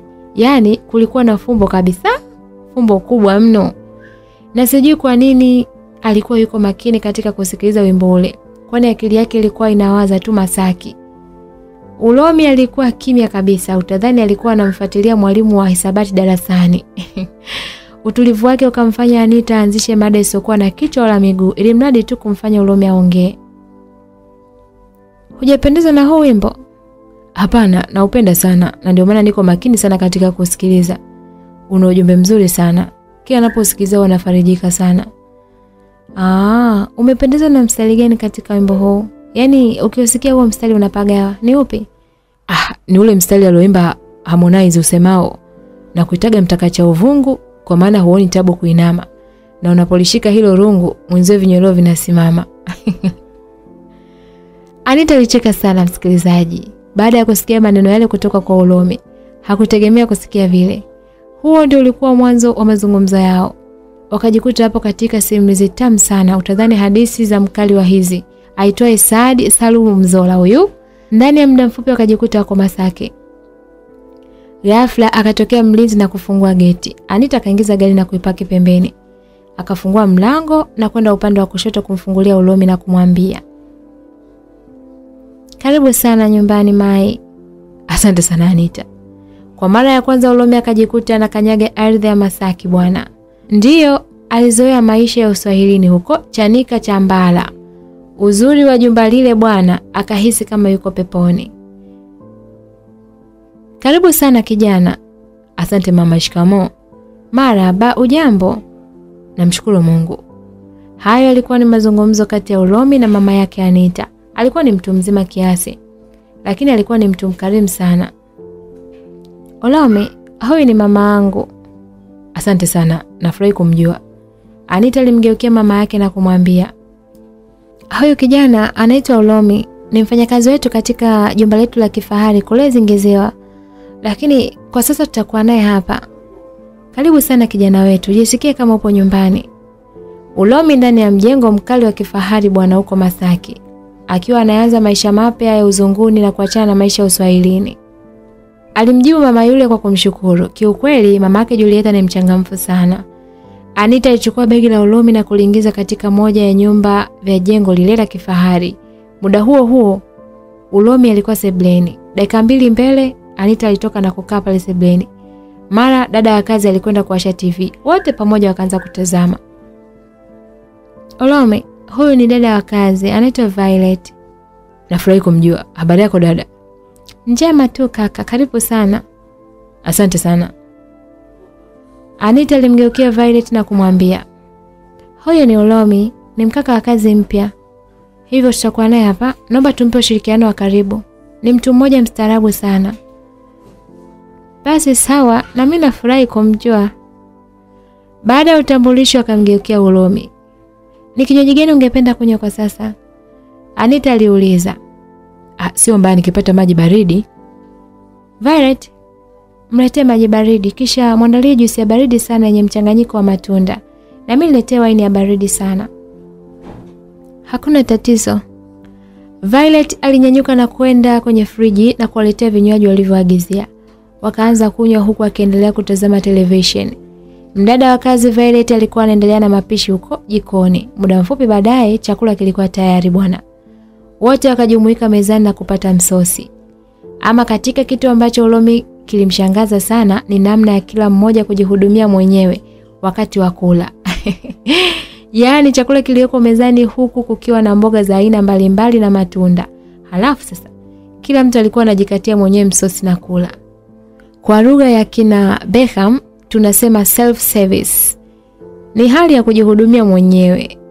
Tumbo la Ulomi bwana lilihisi kama kuna mabadiliko fulani hivi ya chakula, kwani michango ikaanza kuunguruma. Yeye alizoea vyakula vya Uswahilini kama mihogo, ndizi, ugali na kadhalika, huku amekuta vyakula vya kizungu bwana kama pizza na vingine vingi, tena vimejazwa kwenye meza hatari.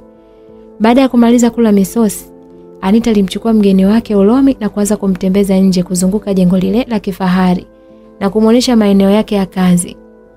Walikuwa wanaongozana kama kumbikumbi kumbi. Hii ni nyumba yetu na haya ni maeneo yetu. Usiwe na shaka kabisa, kwani ulinzi upo wa kutosha. Kuwa tu makini, afu uwe na amani katika hili, usijali. Asante sana Anita. Baada ya kumtembeza kila mahali, wakaingia tena ndani. Alimwonyesha bafu lienda akaoge.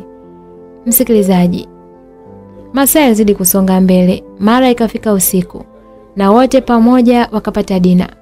Kisha Anita akamwonyesha Ulomi chumba chake cha kulala. Ndani ya hiko chumba kulikuwa na kitu. Ndani ya hiko chumba kulikuwa na kila kitu, yaani mpaka choo cha ndani pia. Ulumi akajikuta anafarijika sana.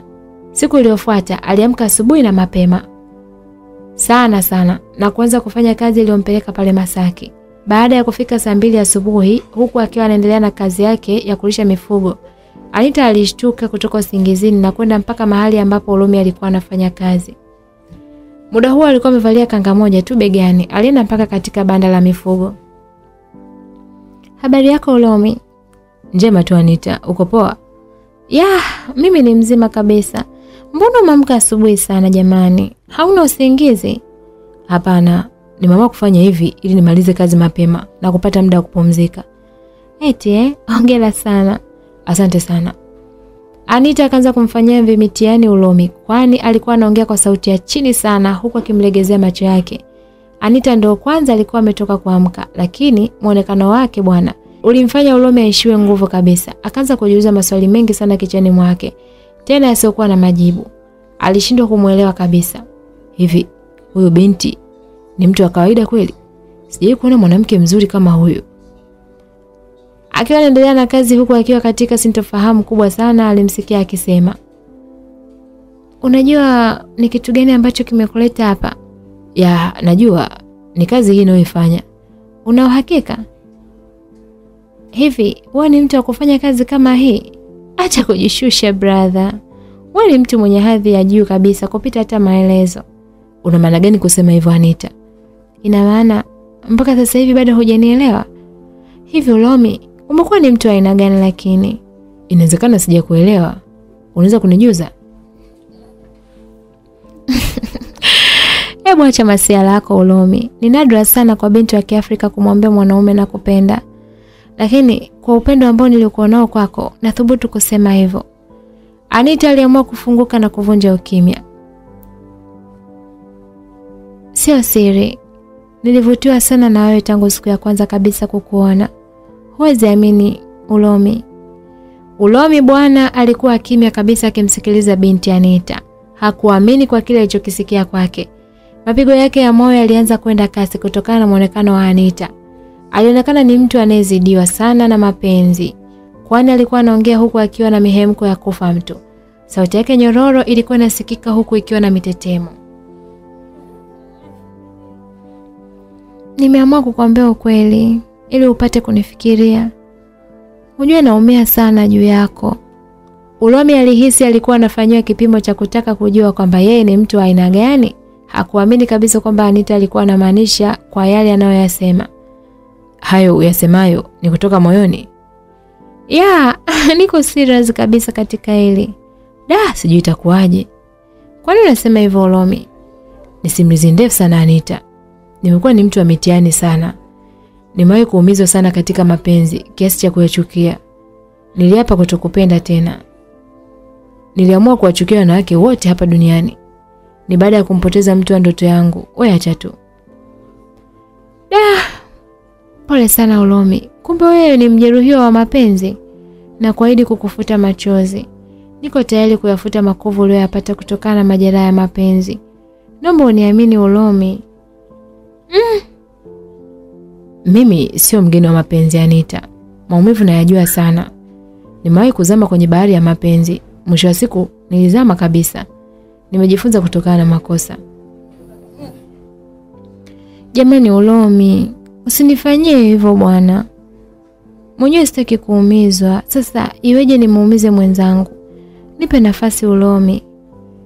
Muda huo bwana Anita alikuwa karibu kabisa na Ulomi. Mara akaanza kumshikashika kifuani kwake na katika baadhi ya viungo vyake vya mwili, hususan huko chini kwa mjomba Athumani. Hisia za mapenzi zikaanza kumjia Ulomi, naye akajikuta anajibu mashambulizi. Kumbuka muda huo alikuwa ndani ya banda la mifugo, tena akiwa mtumbili tu. Kulikuwa na utulivu wa kutosha sana. Mama yake Anita muda huo alikuwa bado amelala chumbani kwake. Si unajua tena maisha ya ughaibuni. Kitendo hiki kiliwapa nafasi kubwa sana na hisi shetani alikuwa kazini. Anita alimvua Ulomi ile kaptula yake ya kazi na kuanza kunyonya ule mshedede wake taratibu. Ndiyo, ni kama alikuwa na lamba ice cream ya Baresa. Hali ya hewa ya mawingu na upepo mkali wa fukwe za Masaki zilichangia kuwafanya wajione kama wapo katika bustani ya Eden. Yaani wakajiona wao ni Hawa na Adamu. Mapenzi bwana ni kitu cha ajabu sana. Wote wawili wakaanza kuonyesha ushirikiano. Wakajikuta wanaivunja amri ya sita kama hawana akili nzuri vile. Ulomi alimuinamisha Anita huku yeye akiwa amesimama nyuma yake. Akainyanyua ile kanga yake na kukutana na kufuri. Kufuri nyepesi sana yenye matobo matobo fulani hivi. Nikisema kufuri watu wazima wenzangu wanaelewa, sio kama ilikuwa imechanika, la hasha, ni ule muundo wake tu, ni zile lesilesi zile. Baada ya kumwinamisha, akaanza kumpelekea moto. Ilikuwa ni kama ile staili ya chuma mboga hivi. Kila mmoja alionyesha ufundi wake kwa mwenzie ili kumkonga nyoyo yake. Mara wakajikuta wamefika ile safari yao ndefu sana ya kupanda milima, kushuka mabonde na kutembea kwa umbali mrefu sana kwenye tambarare. Mara baada ya kumaliza kale ka mchezo, kila mmoja alikuwa na furaha sana. Asante sana Ulomi, hakika umoja wa kunipa raha, yaani wala sijuti kabisa kukufahamu. Hata mimi Anita, sasa najiona kama nimezaliwa upya kabisa baada ya kukata tamaa. Kuna wakati niliachukia mapenzi. Kwani Ulomi, ulipata na nini? Wewe acha tu Anita, haya maisha bwana yamefanyaje? Hebu kwanza kuwa mwazi mpenzi. Anita akajikuta anambadili jina Ulomi na kumwita mpenzi bwana, na hii ni baada tu ya kumpa dozi ya kibabe. Akaamua kumpandisha vyeo kutoka kwenye kuruti mpaka sajenti. Kwa kuwa ilikuwa ni asubuhi sana na jua kuanza kuchomoza, Anita akaanza kutoka mle ndani na kwenda chumbani kwake, kwa kuwa muda huo alikuwa amevaa kanga moja tu, tena ameifunga shingoni.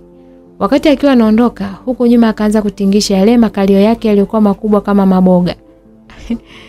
Ile ilikuwa ni burudani tosha sana kwa Ulome. Akaanza kuthaminisha huku mate yakimtoka kwa uchu. Alionekana kama ameona nyama iliyonona ikiwa inachomwa jikoni. Akajisemea, hakika sifa zote zimwendee Mwenyezi Mungu mwingi wa rehema. Kwa kweli anajua kuumba. Huyu binti ni viwango vya kimataifa kabisa. Ulomi alikuwa anajisemea mwenyewe peke yake. Yaani alikuwa amedatishwa kwa Anita. Ghafla Anita alitoweka eneo lile huku akimwacha Ulomi akiendelea na kazi yake. Ndani ya muda mfupi wakajikuta ni wapenzi walioshibana haswa. Kila mara walikuwa wanakutana kimwili pindi walipopata fursa. Walifanya mapenzi yao kwa siri kubwa sana bila ya mtu mwingine kujua. Mapenzi yao yalikuwa ni ya furaha sana. Anita alimfundisha Ulomi kuendesha gari bwana. Ndani ya muda mfupi tu alikuwa dereva mzuri sana. Walikuwa wanatoka out huku Ulomi akiwa ndiye dereva wa gari. Haya yote akiwa anaendelea, baba yake Anita, mzee Douglas alikuwa London nchini Uingereza kikazi. Pale nyumbani alibaki Anita na mama yake. Ulomi alikuwa na uhuru sana pale nyumbani kwa kina Anita. Siku moja bwana, simu yake ya mkononi ikaita. Kumbe alikuwa ni Julieta. Muda huo alikuwa chumbani kwake. Akaamua kuipokea ili kumsikiliza. inakwaje Kwa hiyo na utaki kuonana na mimi? Sina nia mbaya na wewe. Nia yangu ni kutaka tu kumjua mtu aliyeweza kunusuru uhai wangu kwa kuhatarisha maisha yake kwa kutoa figo yake moja. Kwangu ni mtu muhimu kaka. Hebu nielewe basi. Usijali, umefika wakati sasa wa kuonana na mimi. Siku ya Jumapili nitakuwa mgeni wako. Wow! Nitafurahi sana. Karibu sana kaka. Asante sana. Juliet alikwenda haraka sana kwa baba yake na kumwambia kila kitu juu ya ujio wa yule kijana ambaye alikubali kutoa figo yake moja kwa ajili yake. Baba yake alifurahi sana kutaka kumjua na kumwona kijana huyo. Hata mama yake Julieta naye alikuwa miongoni mwa watu wenye furaha. Ulomi alimpigia simu rafiki yake kipenzi Seba na kumtaka siku hiyo ya Jumapili amsindikize kwenda kuonana na Julieta. Seba alimkubalia tena bila kipingamizi. Balaa lilikuwa ni kwa Ulomi. Atawezaje kumwaga Anita?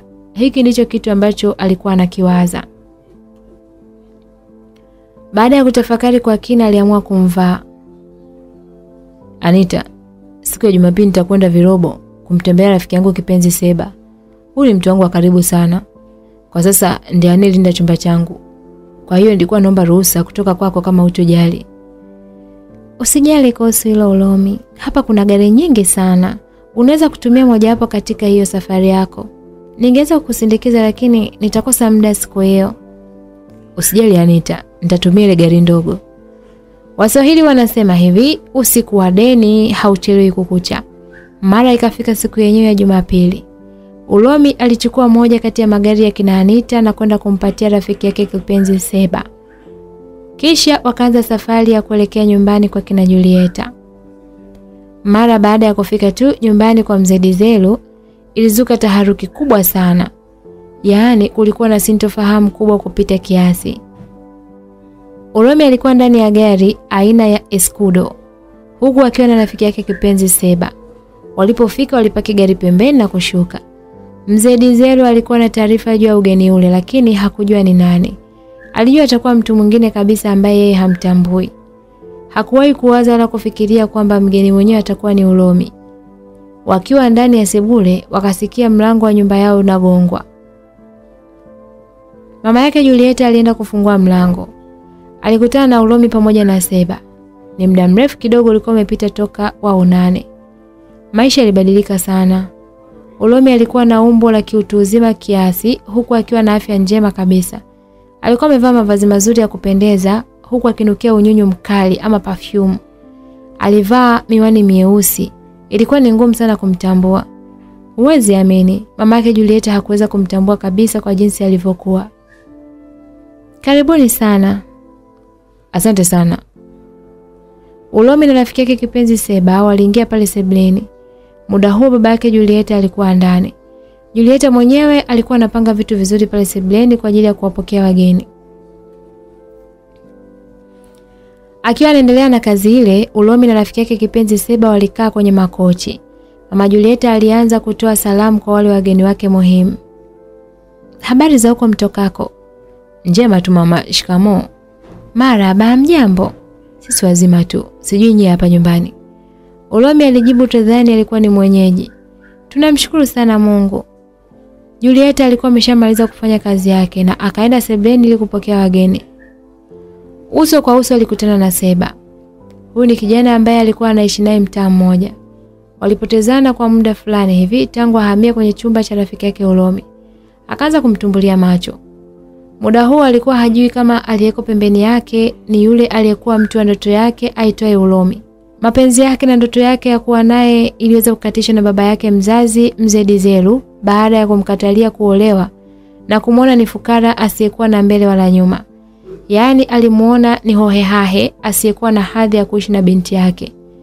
Akiwa katika tafakuri nzito, mara baba yake mzee Dizelu alitoka chumbani kwake na kuwakuta vijana wawili hivi pale sebleni.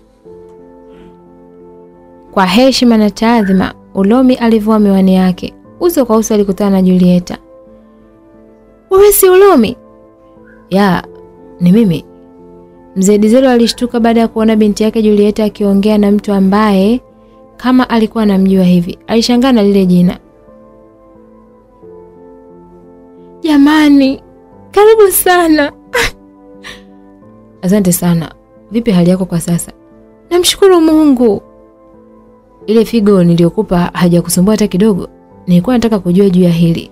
Niko tayari kutoa figo nyingine kwa ajili yako iwapo ile itakuwa haifai. Heri mimi nife ili wewe upone. Nakupenda sana Julieta. Japokuwa sio wangu kwa sasa, yaani bado unaishi moyoni mwangu. Kila wakati nakuwazia mazuri tu. Julieta alishtuka baada ya kusikia maneno yale. Akaanza kupagawa kama sio kuchanganyikiwa.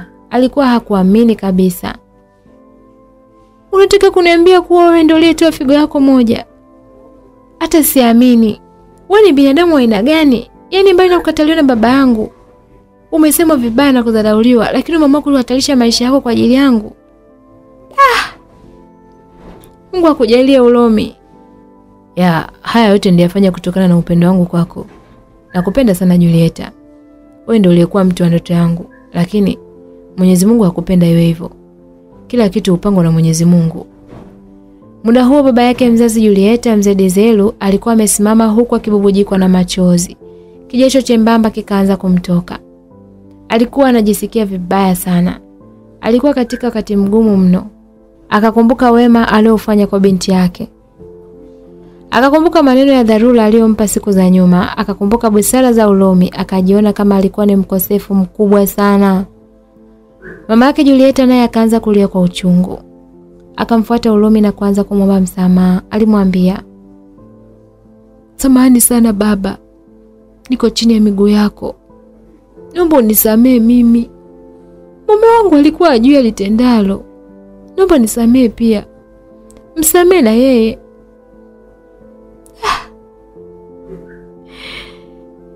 Leo ndo nimejua umuhimu wako baba, siku zote binadamu tumeombiwa makosa, baba yangu. Usijali kuhusu hilo mama, nilikuwa nimewasamehe tangu siku ile, na ndio maana niliposikia Julieta anaumwa nilienda mpaka hospitali, na nilipoambiwa na tatizo nikaamua kutoa figo yangu moja kwa ajili yake. Ni kweli kabisa baba, hakika wewe ni mfano wa kuigwa dunia. Hukutaka kuwa na kinyongo, maskini. Ah! Ulomi aliendelea kusema, maisha ni kama sarafu iliyorushwa angani, huwezi kujua ni mali gani itaangukia. Maskini wa leo ndio tajiri wa kesho. Usimdharau usiyemjua hapa chini ya jua. Maneno yale yalimchoma sana mzee Dizelu. Mzee Dizelu naye akaanza kutembea kwa magoti na kumfuata yule kijana aitwaye Ulomi. Samahani sana kijana wangu, leo nimejifunza kutokana na makosa. Najua uliumia sana, nilikusema vibaya, nikakudhalilisha na kukuona si lolote wala si chochote. Leo hii ndio umekuwa mhimili mkubwa sana kwangu mimi na binti yangu Julieta. Na sehemu inauma sana kwa kweli, najisikia aibu mno. Ulomi alimtazama usoni mzee Dizeli na kushindwa kumwelewa kabisa. Alimwambia, yaliyopita si ndwele, tupange yajayo. Mimi nimekusamehe mzee wangu, lakini sitakusahau. Haya yamepita, siwezi kuishi kwa visasi. Nafurahi kumwona Julieta akiwa na afya njema. Julieta alizidi kulia baada ya kusikia vile. Sikiliza Ulomi, kuanzia sasa Juliet atakuwa chini ya himaya yako. Nakupa bure kabisa, na wala sihitaji kiasi chochote kile cha pesa kutoka kwako, na hili nalisema kutoka moyoni. Mzee Dizelu alimwambia Ulomi, hapana baba, mimi sina hadhi ya kuwa na Julieta. Kama nilishindwa kipindi kile nilipokuwa msukuma mkokoteni, nitaweza vipi kwa kipindi hiki ambacho ni mbeba zege? Kipindi kile nilikuwa na mkokoteni wangu mwenyewe. Leo hii ni msaidizi wa fundi. Nitaweza kweli?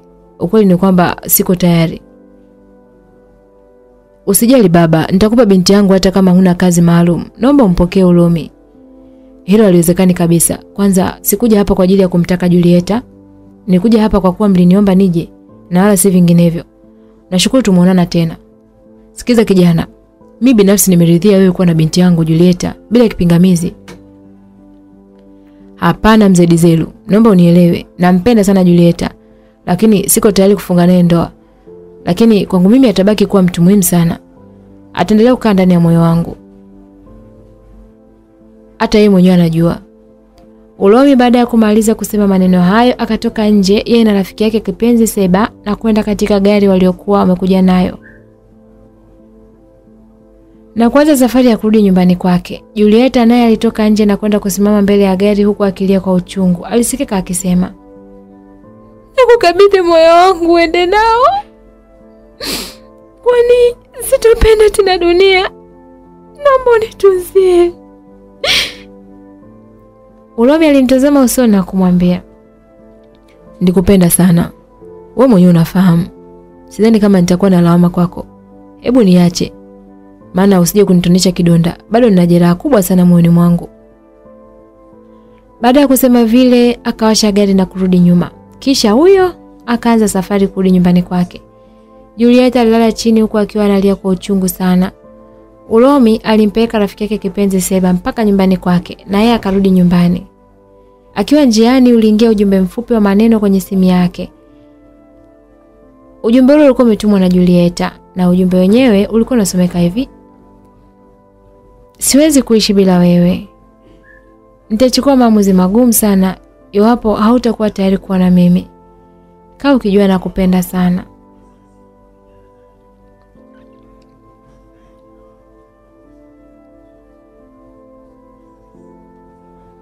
Baada ya kusoma ujumbe huo, Ulomi alipaki gari yake pembeni kwanza, akaanza kuwaza kichwani, ni maamuzi gani hayo magumu ambayo anakwenda kuchukua? Mbona nashindwa kuelewa? Hivi huyu binti ana nini na anataka nifanye nini kwake? Nitawezaje kuishi na wanawake wawili tena kwa wakati mmoja?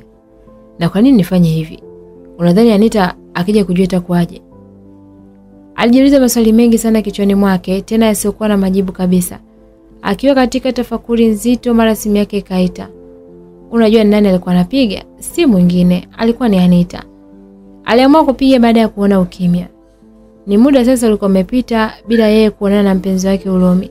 ndani ya muda mfupi alikuwa ni mtu muhimu sana kwake. Alikuwa hawezi kupitisha lisali moja bila kuwa naye. Halo, uko wapi mpenzi? Ah, niko njiani narudi Anita. Hmm, mbona umekawia sana? Kweli safari yako ilikuwa ya heri? Naanza kupata mashaka. Kwani uko wapi sasa? Nataka kujua mpenzi. Yaani leo nimekuwa mpweke sana. Niko maeneo ya Kinondoni. Muda si mfupi nitakuwa nimefika. Usiwe na hofu mpenzi wangu Anita. Kwani kwangu mimi uko peke yako. Yaani hauna mpinzani yeyote yule.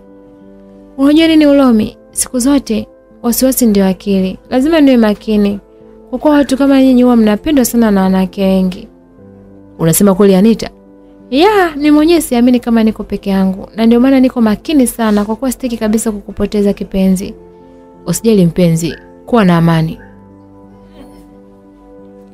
Baada ya mazungumzo dakika kadhaa, Anita alikata simu na kumpa nafasi Ulomi ya kuendelea na safari. Mara baada ya nusu saa hivi aliweza kufika Masaki. Kwa kuwa siku hiyo kulikuwa hakuna kabisa foleni. Mara tu baada ya kufika, Anita alimfuata mpenzi wake Ulomi na kumshika mkononi kisha kuingia naye ndani. Siku hiyo mama yake alikuwa hayupo kabisa pale nyumbani. Alienda Mbezi Beach kumtembelea kaka yake. Upande wa Anita, hii ilikuwa ni fursa kubwa sana kwake. Bila kupoteza muda, alimvutia Ulomi chumbani kwake. Sijui alikuwa na maana gani. Yule mdada wa kazi aitwaye Violet alikuwa anafanya usafi na hakujua ni kitu gani kinaendelea. Katika mazingira ya utatanishi, Anita akafunga mlango wa chumba chake na kumsukumia Ulomi kitandani. Mara akaanza kuvua nguo zake zote na kubaki kama alivyozaliwa kutoka kwa mama yake mzazi. Ulomi alishindwa kabisa kumwelewa Anita. Nipo katika wakati mgumu sana Ulomi. Hebu fanya kitu kwa ajili yangu. Yaani hapa ni ni nye mpaka basi. Hebu nitibu basi kale ka ugonjwa kangu. Wewe ndiye daktari wangu. Unaweza kunitibu bila hata kunifanyia vipimo. Kazi kwako. Kuna nini tena? Ulomi akajikuta anaingia mzigoni bwana, kama kawaida. Akaanza kumwandaa mdada kwa kumchezea kwenye sehemu zake kwa ustadi wa hali ya juu. Jamani, fundi katika mapenzi. Anita akaanza kutoa miguno mbalimbali yenye kuamsha hisia za mapenzi. Ulomi alizidi kufanya yake. Anita naye akaanza kujibu mashambulizi. Akamlaza Ulomi chali na kupanda juu yake. Akaamua kuukalia. Muda huo ulikuwa umesimama utadhani mshale.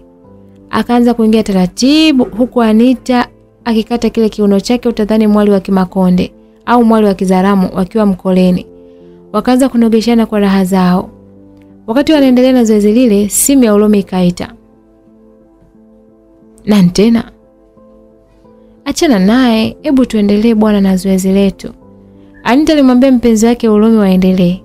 Muda huo alikuwa katika kilele cha utamu. Hakutaka kabisa kumwona Ulomi akikatisha dozi kwa ajili ya simu. Wakajikuta wanaendelea tu kufanya mapenzi. Achana kabisa na kale kamchezo. Iliwachukua muda mrefu sana huku akipeana dozi. Simu iliendelea kuita kwa muda mrefu bila ya kupokelewa. Ghafla ukaingia ujumbe mfupi wa maneno. Ujumbe ule ulitumwa na Julieta. Na yeye ndiye aliyekuwa anapiga simu. Ulikuwa ni ujumbe chonganishi sana. Na ujumbe wenyewe ulikuwa unasomeka hivi: Naona umeshindwa kuheshimu hisia zangu. Acha nijivue na kukuacha uendelee na safari. Naona haukuwa fungu langu. Kwa sasa sina umuhimu kwako na sioni tena umuhimu wa kuendelea kuishi hapa duniani bila uwepo wako. Kwani kufanya hivyo ni sawa na kunywa chai bila sukari. Unadhani itakuwa na ladha? Ujumbe uliendelea kusomeka. Na kutakia maisha mema. Najua nitakuwa na wewe pamoja huko ahera. Nakupenda sana. Baada ya vita kali isiyotumia silaha ya mapenzi kati ya Ulomi na Anita, mara wakafikia tamati. Kila mmoja alijitupia upande wa pili, yaani walikuwa wamechoka hoi bin taban. Asikwambie mtu bwana, raha ya mapenzi, mkutane mafundi kwa mafundi. Hapo ndipo utajua mapenzi ni nini. Ukweli ni kwamba Ulomi na Anita wote wawili walikuwa ni mafundi katika sekta hii. Ulomi alikuwa katika ulimwengu mwingine kabisa. Yale yote magumu aliyopitia yalibaki kama historia. Ulomi mpenzi, asante sana kwa hii dozi. Yaani nilikuwa sitaki kulala bila ya kupata penzi lako. Kwa sasa niko sawa kabisa, naweza kulala. Halafu kuna mtu alikuwa anapiga simu wakati tukiwa katika mapenzi. Ni nani huyo? Anita alimuuliza Ulomi. Hata najua basi, hebu ngoja niangalie. Usijali Ulomi, kazi hiyo nitaifanya mimi. Hebu nipe simu yako mpenzi, nitakwambia ni nani. Anita alichukua simu ya Ulomi na kukuta miss call ya Julieta. Akaendelea kufanya uchunguzi. Mara akakuta ujumbe mfupi wa maneno, akaanza kusoma kimya kimya. Anita aliumia sana kwa kukuta ujumbe wenye viashiria vya usaliti kutoka kwa mpenzi wake Ulomi. Yaani kila kitu kilikuwa hadharani kabisa. Kitendo kile kilimkera kupita maelezo. Julieta ni nani yako? Alimuuliza swali, na hii ni mara baada ya kukuta ujumbe sio sahihi kabisa. Ulikuwa ni ujumbe hatari sana. Ulomi alibaki ameduaa. Kumbe bwana, alikuwa amesahau kufuta ule ujumbe mfupi wa maneno aliotumiwa na Julieta akiwa njiani. Mbaya zaidi, alituma ujumbe mwingine mara ya simu yake kutokupokelewa. Ulomi alikuwa katika wakati mgumu sana, alishindwa kumpa jibu Anita. Maana ni kama alishtukizwa hivi, joto la mwili wake likaanza kupanda. Na kuuliza wewe Ulomi, Julieta ni nani? Na kwa nini hawezi kuishi bila wewe? Ni kitu gani kinaendelea kati yako na yeye? Nahitaji kujua mpenzi. Hivi ni kweli niko peke yangu? Hapana mpenzi. Kuna kitu ukijui. Ni kitu gani hiko? Ndio nataka uniambie, si nianzie wapi? Maana Ulomi akaanza kuhanyahanya na asijue ni wapi aanzie ili kuweza kumfahamisha mpenzi wake Anita. Kumbuka kipindi hiko alikuwa anaishi nyumbani kwake Masaki na yeye ndo alikuwa kila kitu kwake. Maisha yake yote yalikuwa chini yake, alimpa kila kitu. Alimfanya kuwa wa thamani. Alimpa umuhimu mkubwa sana, sio siri. Anita alikuwa ni kila kitu kwake. Anita alizidi kumfanyia mahojiano Ulomi. Ni kitu gani unaficha? Kumbe ni msaliti? Yaani nashindwa kabisa kukuamini. Ulomi akaamua kuvunja ukimya na kumwambia ukweli wa mambo yalivyo. Hapana Anita. Siwezi kukusaliti. Sijawahi na sifikiri kabisa. Ngoja nikwambie kila kitu. Ulomi akaanza kumsimulia mkasa mzima kuanzia mwanzo mpaka mwisho kabisa bila ya kumficha kitu chochote kile. Aliamua kumpa ukweli tu ili asiwe na mashaka juu ya tukio lile. Una uhakika na hayo uliyosema? Ya, kwa nini kuficha mpenzi? Unataka kuniambia umebaki na figo moja tu baada ya kumpa Julieta figo moja? ndio ndio hivyo mpenzi wangu, huwezi amini. Ulomi akaamua kumpa Anita vithibitisho vyote ikiwemo karatasi kutoka kwa daktari aliyemfanyia upasuaji huo na kumtoa figo. Pole sana mpenzi. Kumbe una mapenzi ya dhati kwa Julieta. Kwa hiyo utafanyaje sasa? Utaendelea kuwa na mimi au utaenda kuishi na mpenzi wako wa zamani? Mtu wa ndoto yako, mwanamke unayempenda zaidi yangu. Uromi alinyamaza kimya kwa muda, akamtazama Anita usoni kisha akamwambia ukweli juu ya mapenzi yake kwake. Alifunguka. Jambo usilolijua ni sana usiku wa giza. Ni kosa kubwa sana wewe kujilinganisha na Julieta. Wewe una thamani kubwa sana. Ni kweli Julieta alikuwa ni mtu muhimu sana kwangu kwa wakati ule. Huu ni muda wako sasa. Sahau kabisa juu ya Julieta. Nadhani umeshajua ukweli. Kwa nini sasa niko na wewe? Uweze amini. Wewe ni kila kitu kwangu. Jamani Ulomi. Unasema kweli? Naomba usiniache mpenzi. Ndani ya muda mfupi umekuwa mtu wa muhimu sana kwangu. Nakupenda sana mpenzi. Nitafanya kila kitu we na mimi daima. Nataka kukufanya wewe mfalme wangu. Hilo nalisema kutoka moyoni. Na mimi nakupenda sana Anita. Huko ndikotoka nimeumizwa sana. Sitaki kurudi tena huko. Sio kuumizwa tu, tena nimedhalilishwa kupita kiasi. Kuna wakati niliyachukia sana mapenzi. Kumbuka ni wewe ndio uliyenirudisha kwenye ulimwengu wa mapenzi. Ni muhimu kwangu sana. Umenifanya nizaliwe upya kabisa. Kwa hiyo tunafanyaje? Ujue mwenzio anataka kuchukua maamuzi magumu, asije kujiua bure. Umejipanga vipi sasa kwa hilo mpenzi wangu? Haiwezekani. Nitaishi vipi na mtu ambaye baba yake hakuwa tayari niwe naye kutokana na ufukara wangu? Yeye alithamini sana kitu kuliko utu. Ina maana leo ndo nimekuwa mtu muhimu kwao? Hapana. Je, ingekuwa iwapo nisingetoa figo yangu, ingekwaje? Huyo si mtu mzuri kabisa. Yaani anathamini sana mtu mwenye pesa maishani. Binadamu ndivyo alivyo. Sasa anaanza kupata matumaini ya kuwa na wewe. Hivi karibuni nataka kumwambia baba juu ya mapenzi yangu kwako. Nataka tufunge ndoa ya kifahari kubwa sana. Nataka uwe mume wangu. Nataka uwe baba wa watoto wangu kama itawezekana. Kwa nini siwezekane? Eh? Kwa nini? Hakuna kinachoshindikana chini ya jua. Na mimi natamani uwe mke wangu, mama wa watoto wangu, uwe mwandani wangu, nakupenda sana. Ni mama kufanya malkia wangu. Wote kwa pamoja walijikuta wako katika furaha kubwa sana. Ulomi alimwambia Anita, nataka nimpigie simu Julieta ili nimwambie kitu mbele yako. Umefika wakati sasa wa kumwambia tu kwamba mimi nina mtu wangu, kwa hiyo asipoteze muda wake bure. Au unasemaje? Maana anaweza kuwa na matumaini, kumbe mimi siko huko kabisa. Sasa utamwambiaje? Da, kisanga kiko hapa. Nikushauri kitu Ulomi? Ya, litakuwa jambo jema sana. Mpigie simu ili mkutane mahali siku ya kesho. Mimi naye wote pamoja tutaongozana mahali hapo. Utamwambia tu ukweli wa mambo huku mimi nikiwepo. Unaonaje wazo hili? Mbona imekaa njema? Tutafanya hivyo. Ulomi alichukua simu yake ya mkononi na kumpigia Julieta na kumwambia hivi. Hello. Naomba usichukue maamuzi magumu kwa sasa. Kama itawezekana, naomba tukutane mahali siku ya kesho. Ni mahali tofauti kabisa na nyumbani kwenu ili tufanye mjadala wa kirefu juu ya hili jambo. Basi sawa, lakini naomba unielewe kwamba nakupenda sana. Ujue siwezi kuishi bila wewe. Achana mambo ya babangu. Usijali Julieta, kesho tutaongea kila kitu. Okay, nakutakia jioni njema mpenzi. Nawe pia. Msikilizaji, mapenzi ni kitu cha ajabu sana. Julieta akajikuta anampenda tena Ulomi kwa kasi ya ajabu. Wakati yeye anamwaza Ulomi na kuhisi kwamba atakuwa naye kama mke na mume, kumbe Ulomi hana wazo kabisa la kuwa naye. Yuko na mtoto mkali Aneta, mwanamke mwenye mapenzi ya dhati kwake, mtu aliyemtoa katika maisha ya ufukara na kumweka katika maisha ya kitajiri, mtu aliyemfuta machozi baada ya kuumizwa na mapenzi, mtu aliyemfanya ajione kiumbe mpya kabisa duniani, na ni mtu mwenye kumwazia mema siku zijazo. Unajua nini? Kuna siri kubwa sana katika maisha. Mwenyezi Mungu ndiye anajua hatima zetu. Hii ni kuwa wenye imani tu. Amini Mungu, wewe ni mshindi. Usikate tamaa kwani hujui kesho yake. Baada ya kumaliza mazungumzo yao wakaingia bafuni na kuoga wote kwa pamoja.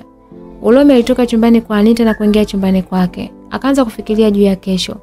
Atamwambia nini Julieta mpaka akubaliane naye? Sijui itakuwaje hiyo kesho. Ulomi aliumiza sana kichwa chake. Usiku ule ule hakuweza kupata usingizi kabisa hata tone. Siku iliyofuata, Anita alimwambia Ulomi ampigie simu Julieta ili wakutane mahali. Halo. Ndio leo, kwa hiyo tunafanyaje? Mi nakusikiliza wewe Ulomi. Okay, naomba tukutane nguvu kazi katika ile baa maarufu sana ile ya Rudo. Fanya haraka basi. Usijali mpenzi, nipe kama nusu saa hivi. Ulomi na mpenzi wake Anita akiwa ndani ya gari lao la kifahari aina ya Hama wakaanza safari ya kuelekea katika eneo la tukio. Huko upande wa pili nako Julieta katika bodaboda naye akaanza safari. Julieta ndiye alikuwa mtu wa kwanza kufika maeneo yale. Muda mfupi baadaye Ulomi na Anita nao walikuja. Walimkuta Julieta akiwa amekaa peke yake mahali fulani hivi. Wakiwa wanaongozana pamoja wakaenda mpaka mahali ambapo Julieta alikuwa amekaa.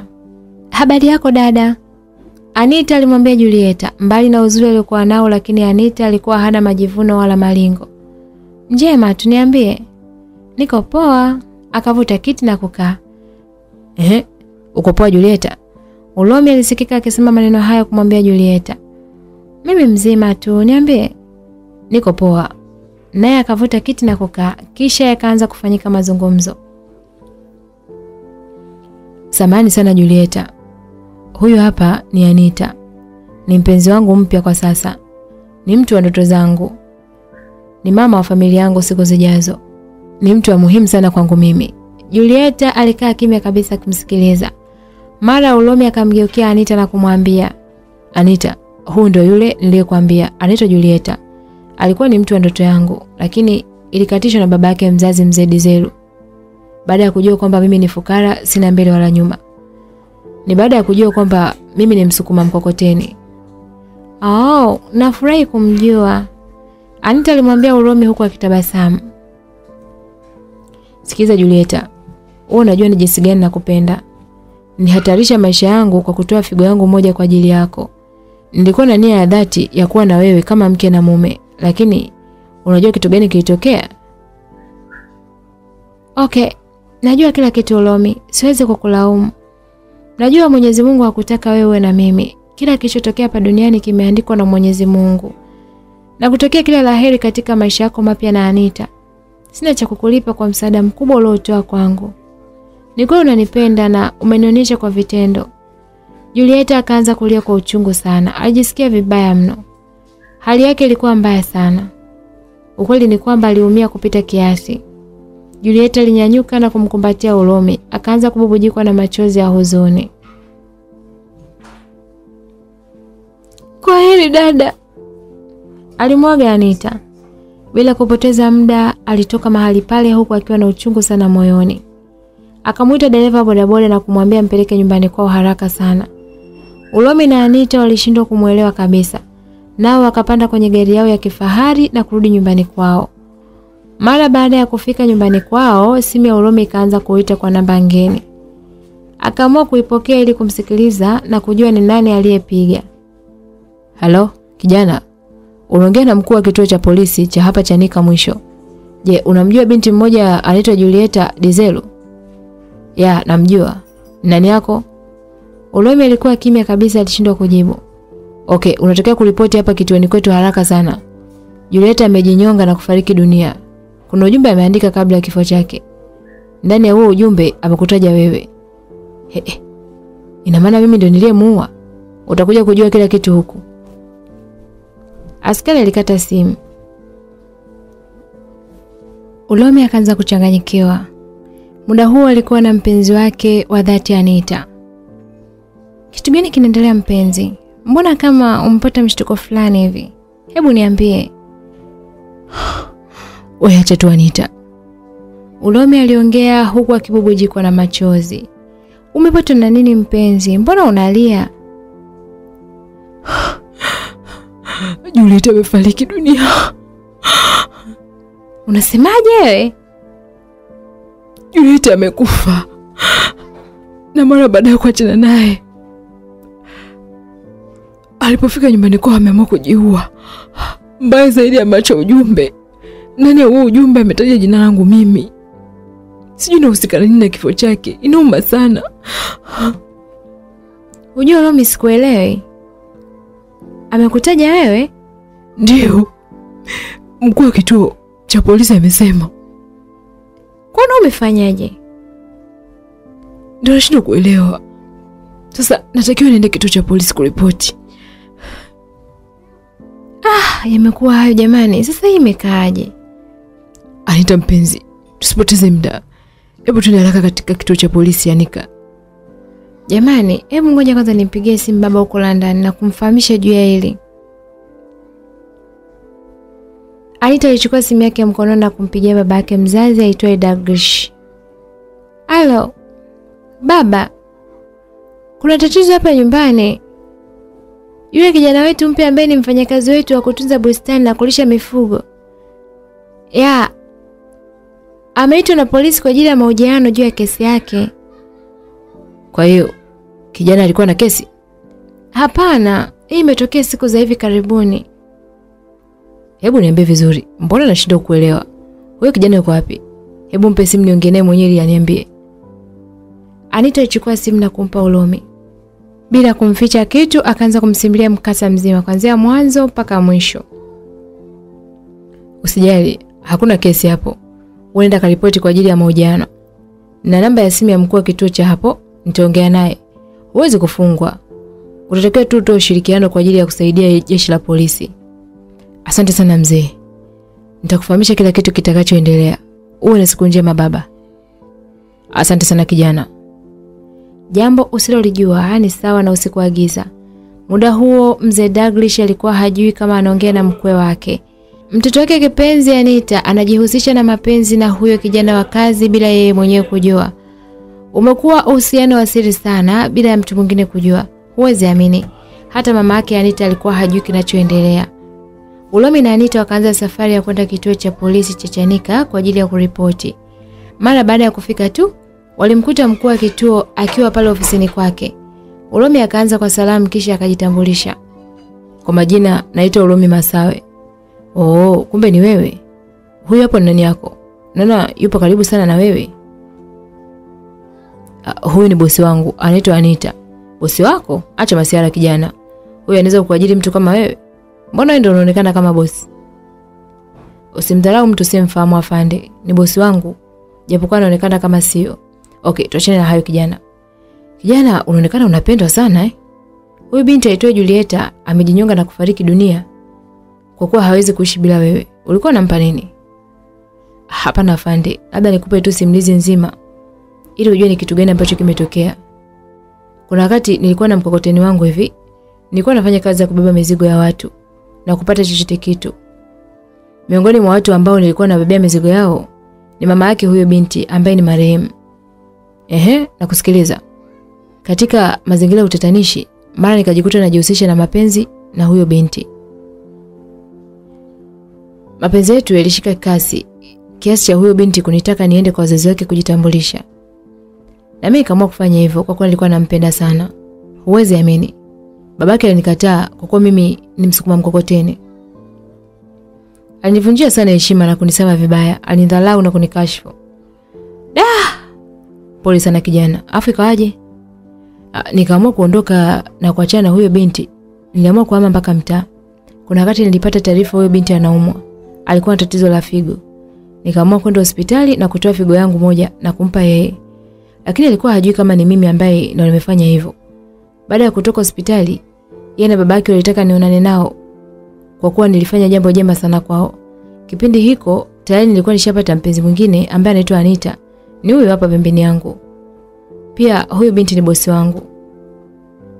Alipofika hapo mkuu akitoa akaanza kumtolea macho Anita. Ndiyo, alikuwa ni kifaa cha haja. Sijui ndio huwa mnaita pesikali? Tuachane na hayo.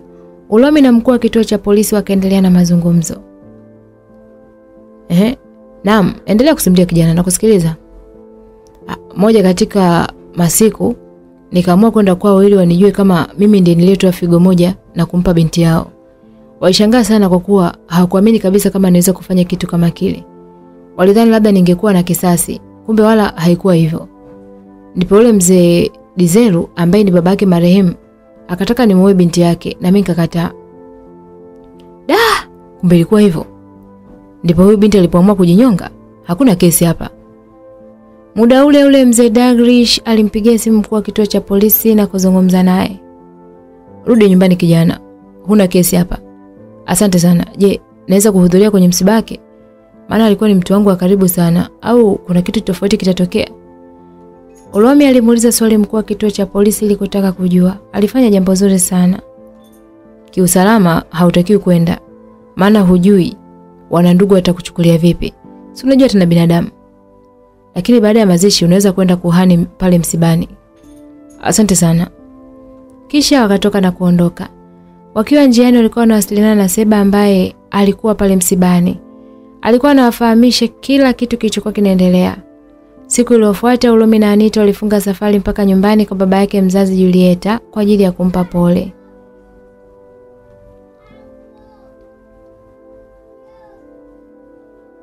Ulomi aliumia sana kwa kumpoteza Julieta. Alikuwa anampenda sana. Alikuwa ni mtu wa ndoto yake. Lakini ndoto ya kuwa naye ilienda kukatishwa na baba yake mzazi Julieta. Hebu fikiria mwenyewe msikilizaji. Alikubali kutoa figo yake moja kwa ajili ya kumpa Julieta, huku akijua kwamba anakwenda kuhatarisha maisha yake. Maana kubaki na figo moja tu jamani ni hatari sana. Unadhani na ile nyingine ikifeli itakuwaje? Eh? Eti msikilizaji. Lakini yeye wala hakulijali hilo. Aliona uhai wa Julieta ni muhimu sana kuliko wa kwake.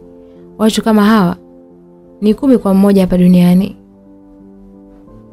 Baada ya mwendo kama wa masaa kadhaa hivi waliweza kufika nyumbani kwao. Walikuta watu wengi sana wamejaa msibani, japokuwa tayari Julieta alikuwa ameshazikwa. Ulikuwa ni msiba ulioumiza watu wengi sana mtaani. Odi. Hiyo ilikuwa ni mara baada ya kufika. Karibuni sana. Asante sana. Jamani, poleni sana msiba. Asante, ndo hivyo tena. Haya yalikuwa ni mazungumzo kati ya Ulomi na mama moja mzee hivi ambaye walimkuta pale sebleni. Muda huo mama yake Julieta alikuwa ndani analia kwa uchungu. Hali yake ilikuwa mbaya sana kumpoteza mwanaye.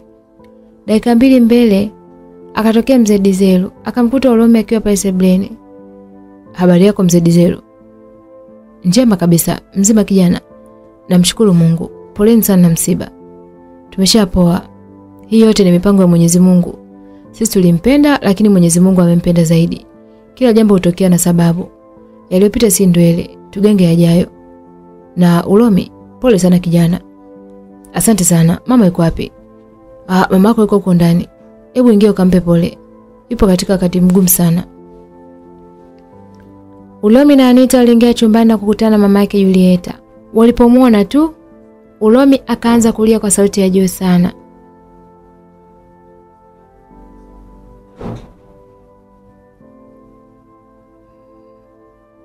Pole sana Ulomi kwa kumpoteza mtu wa ndoto yako.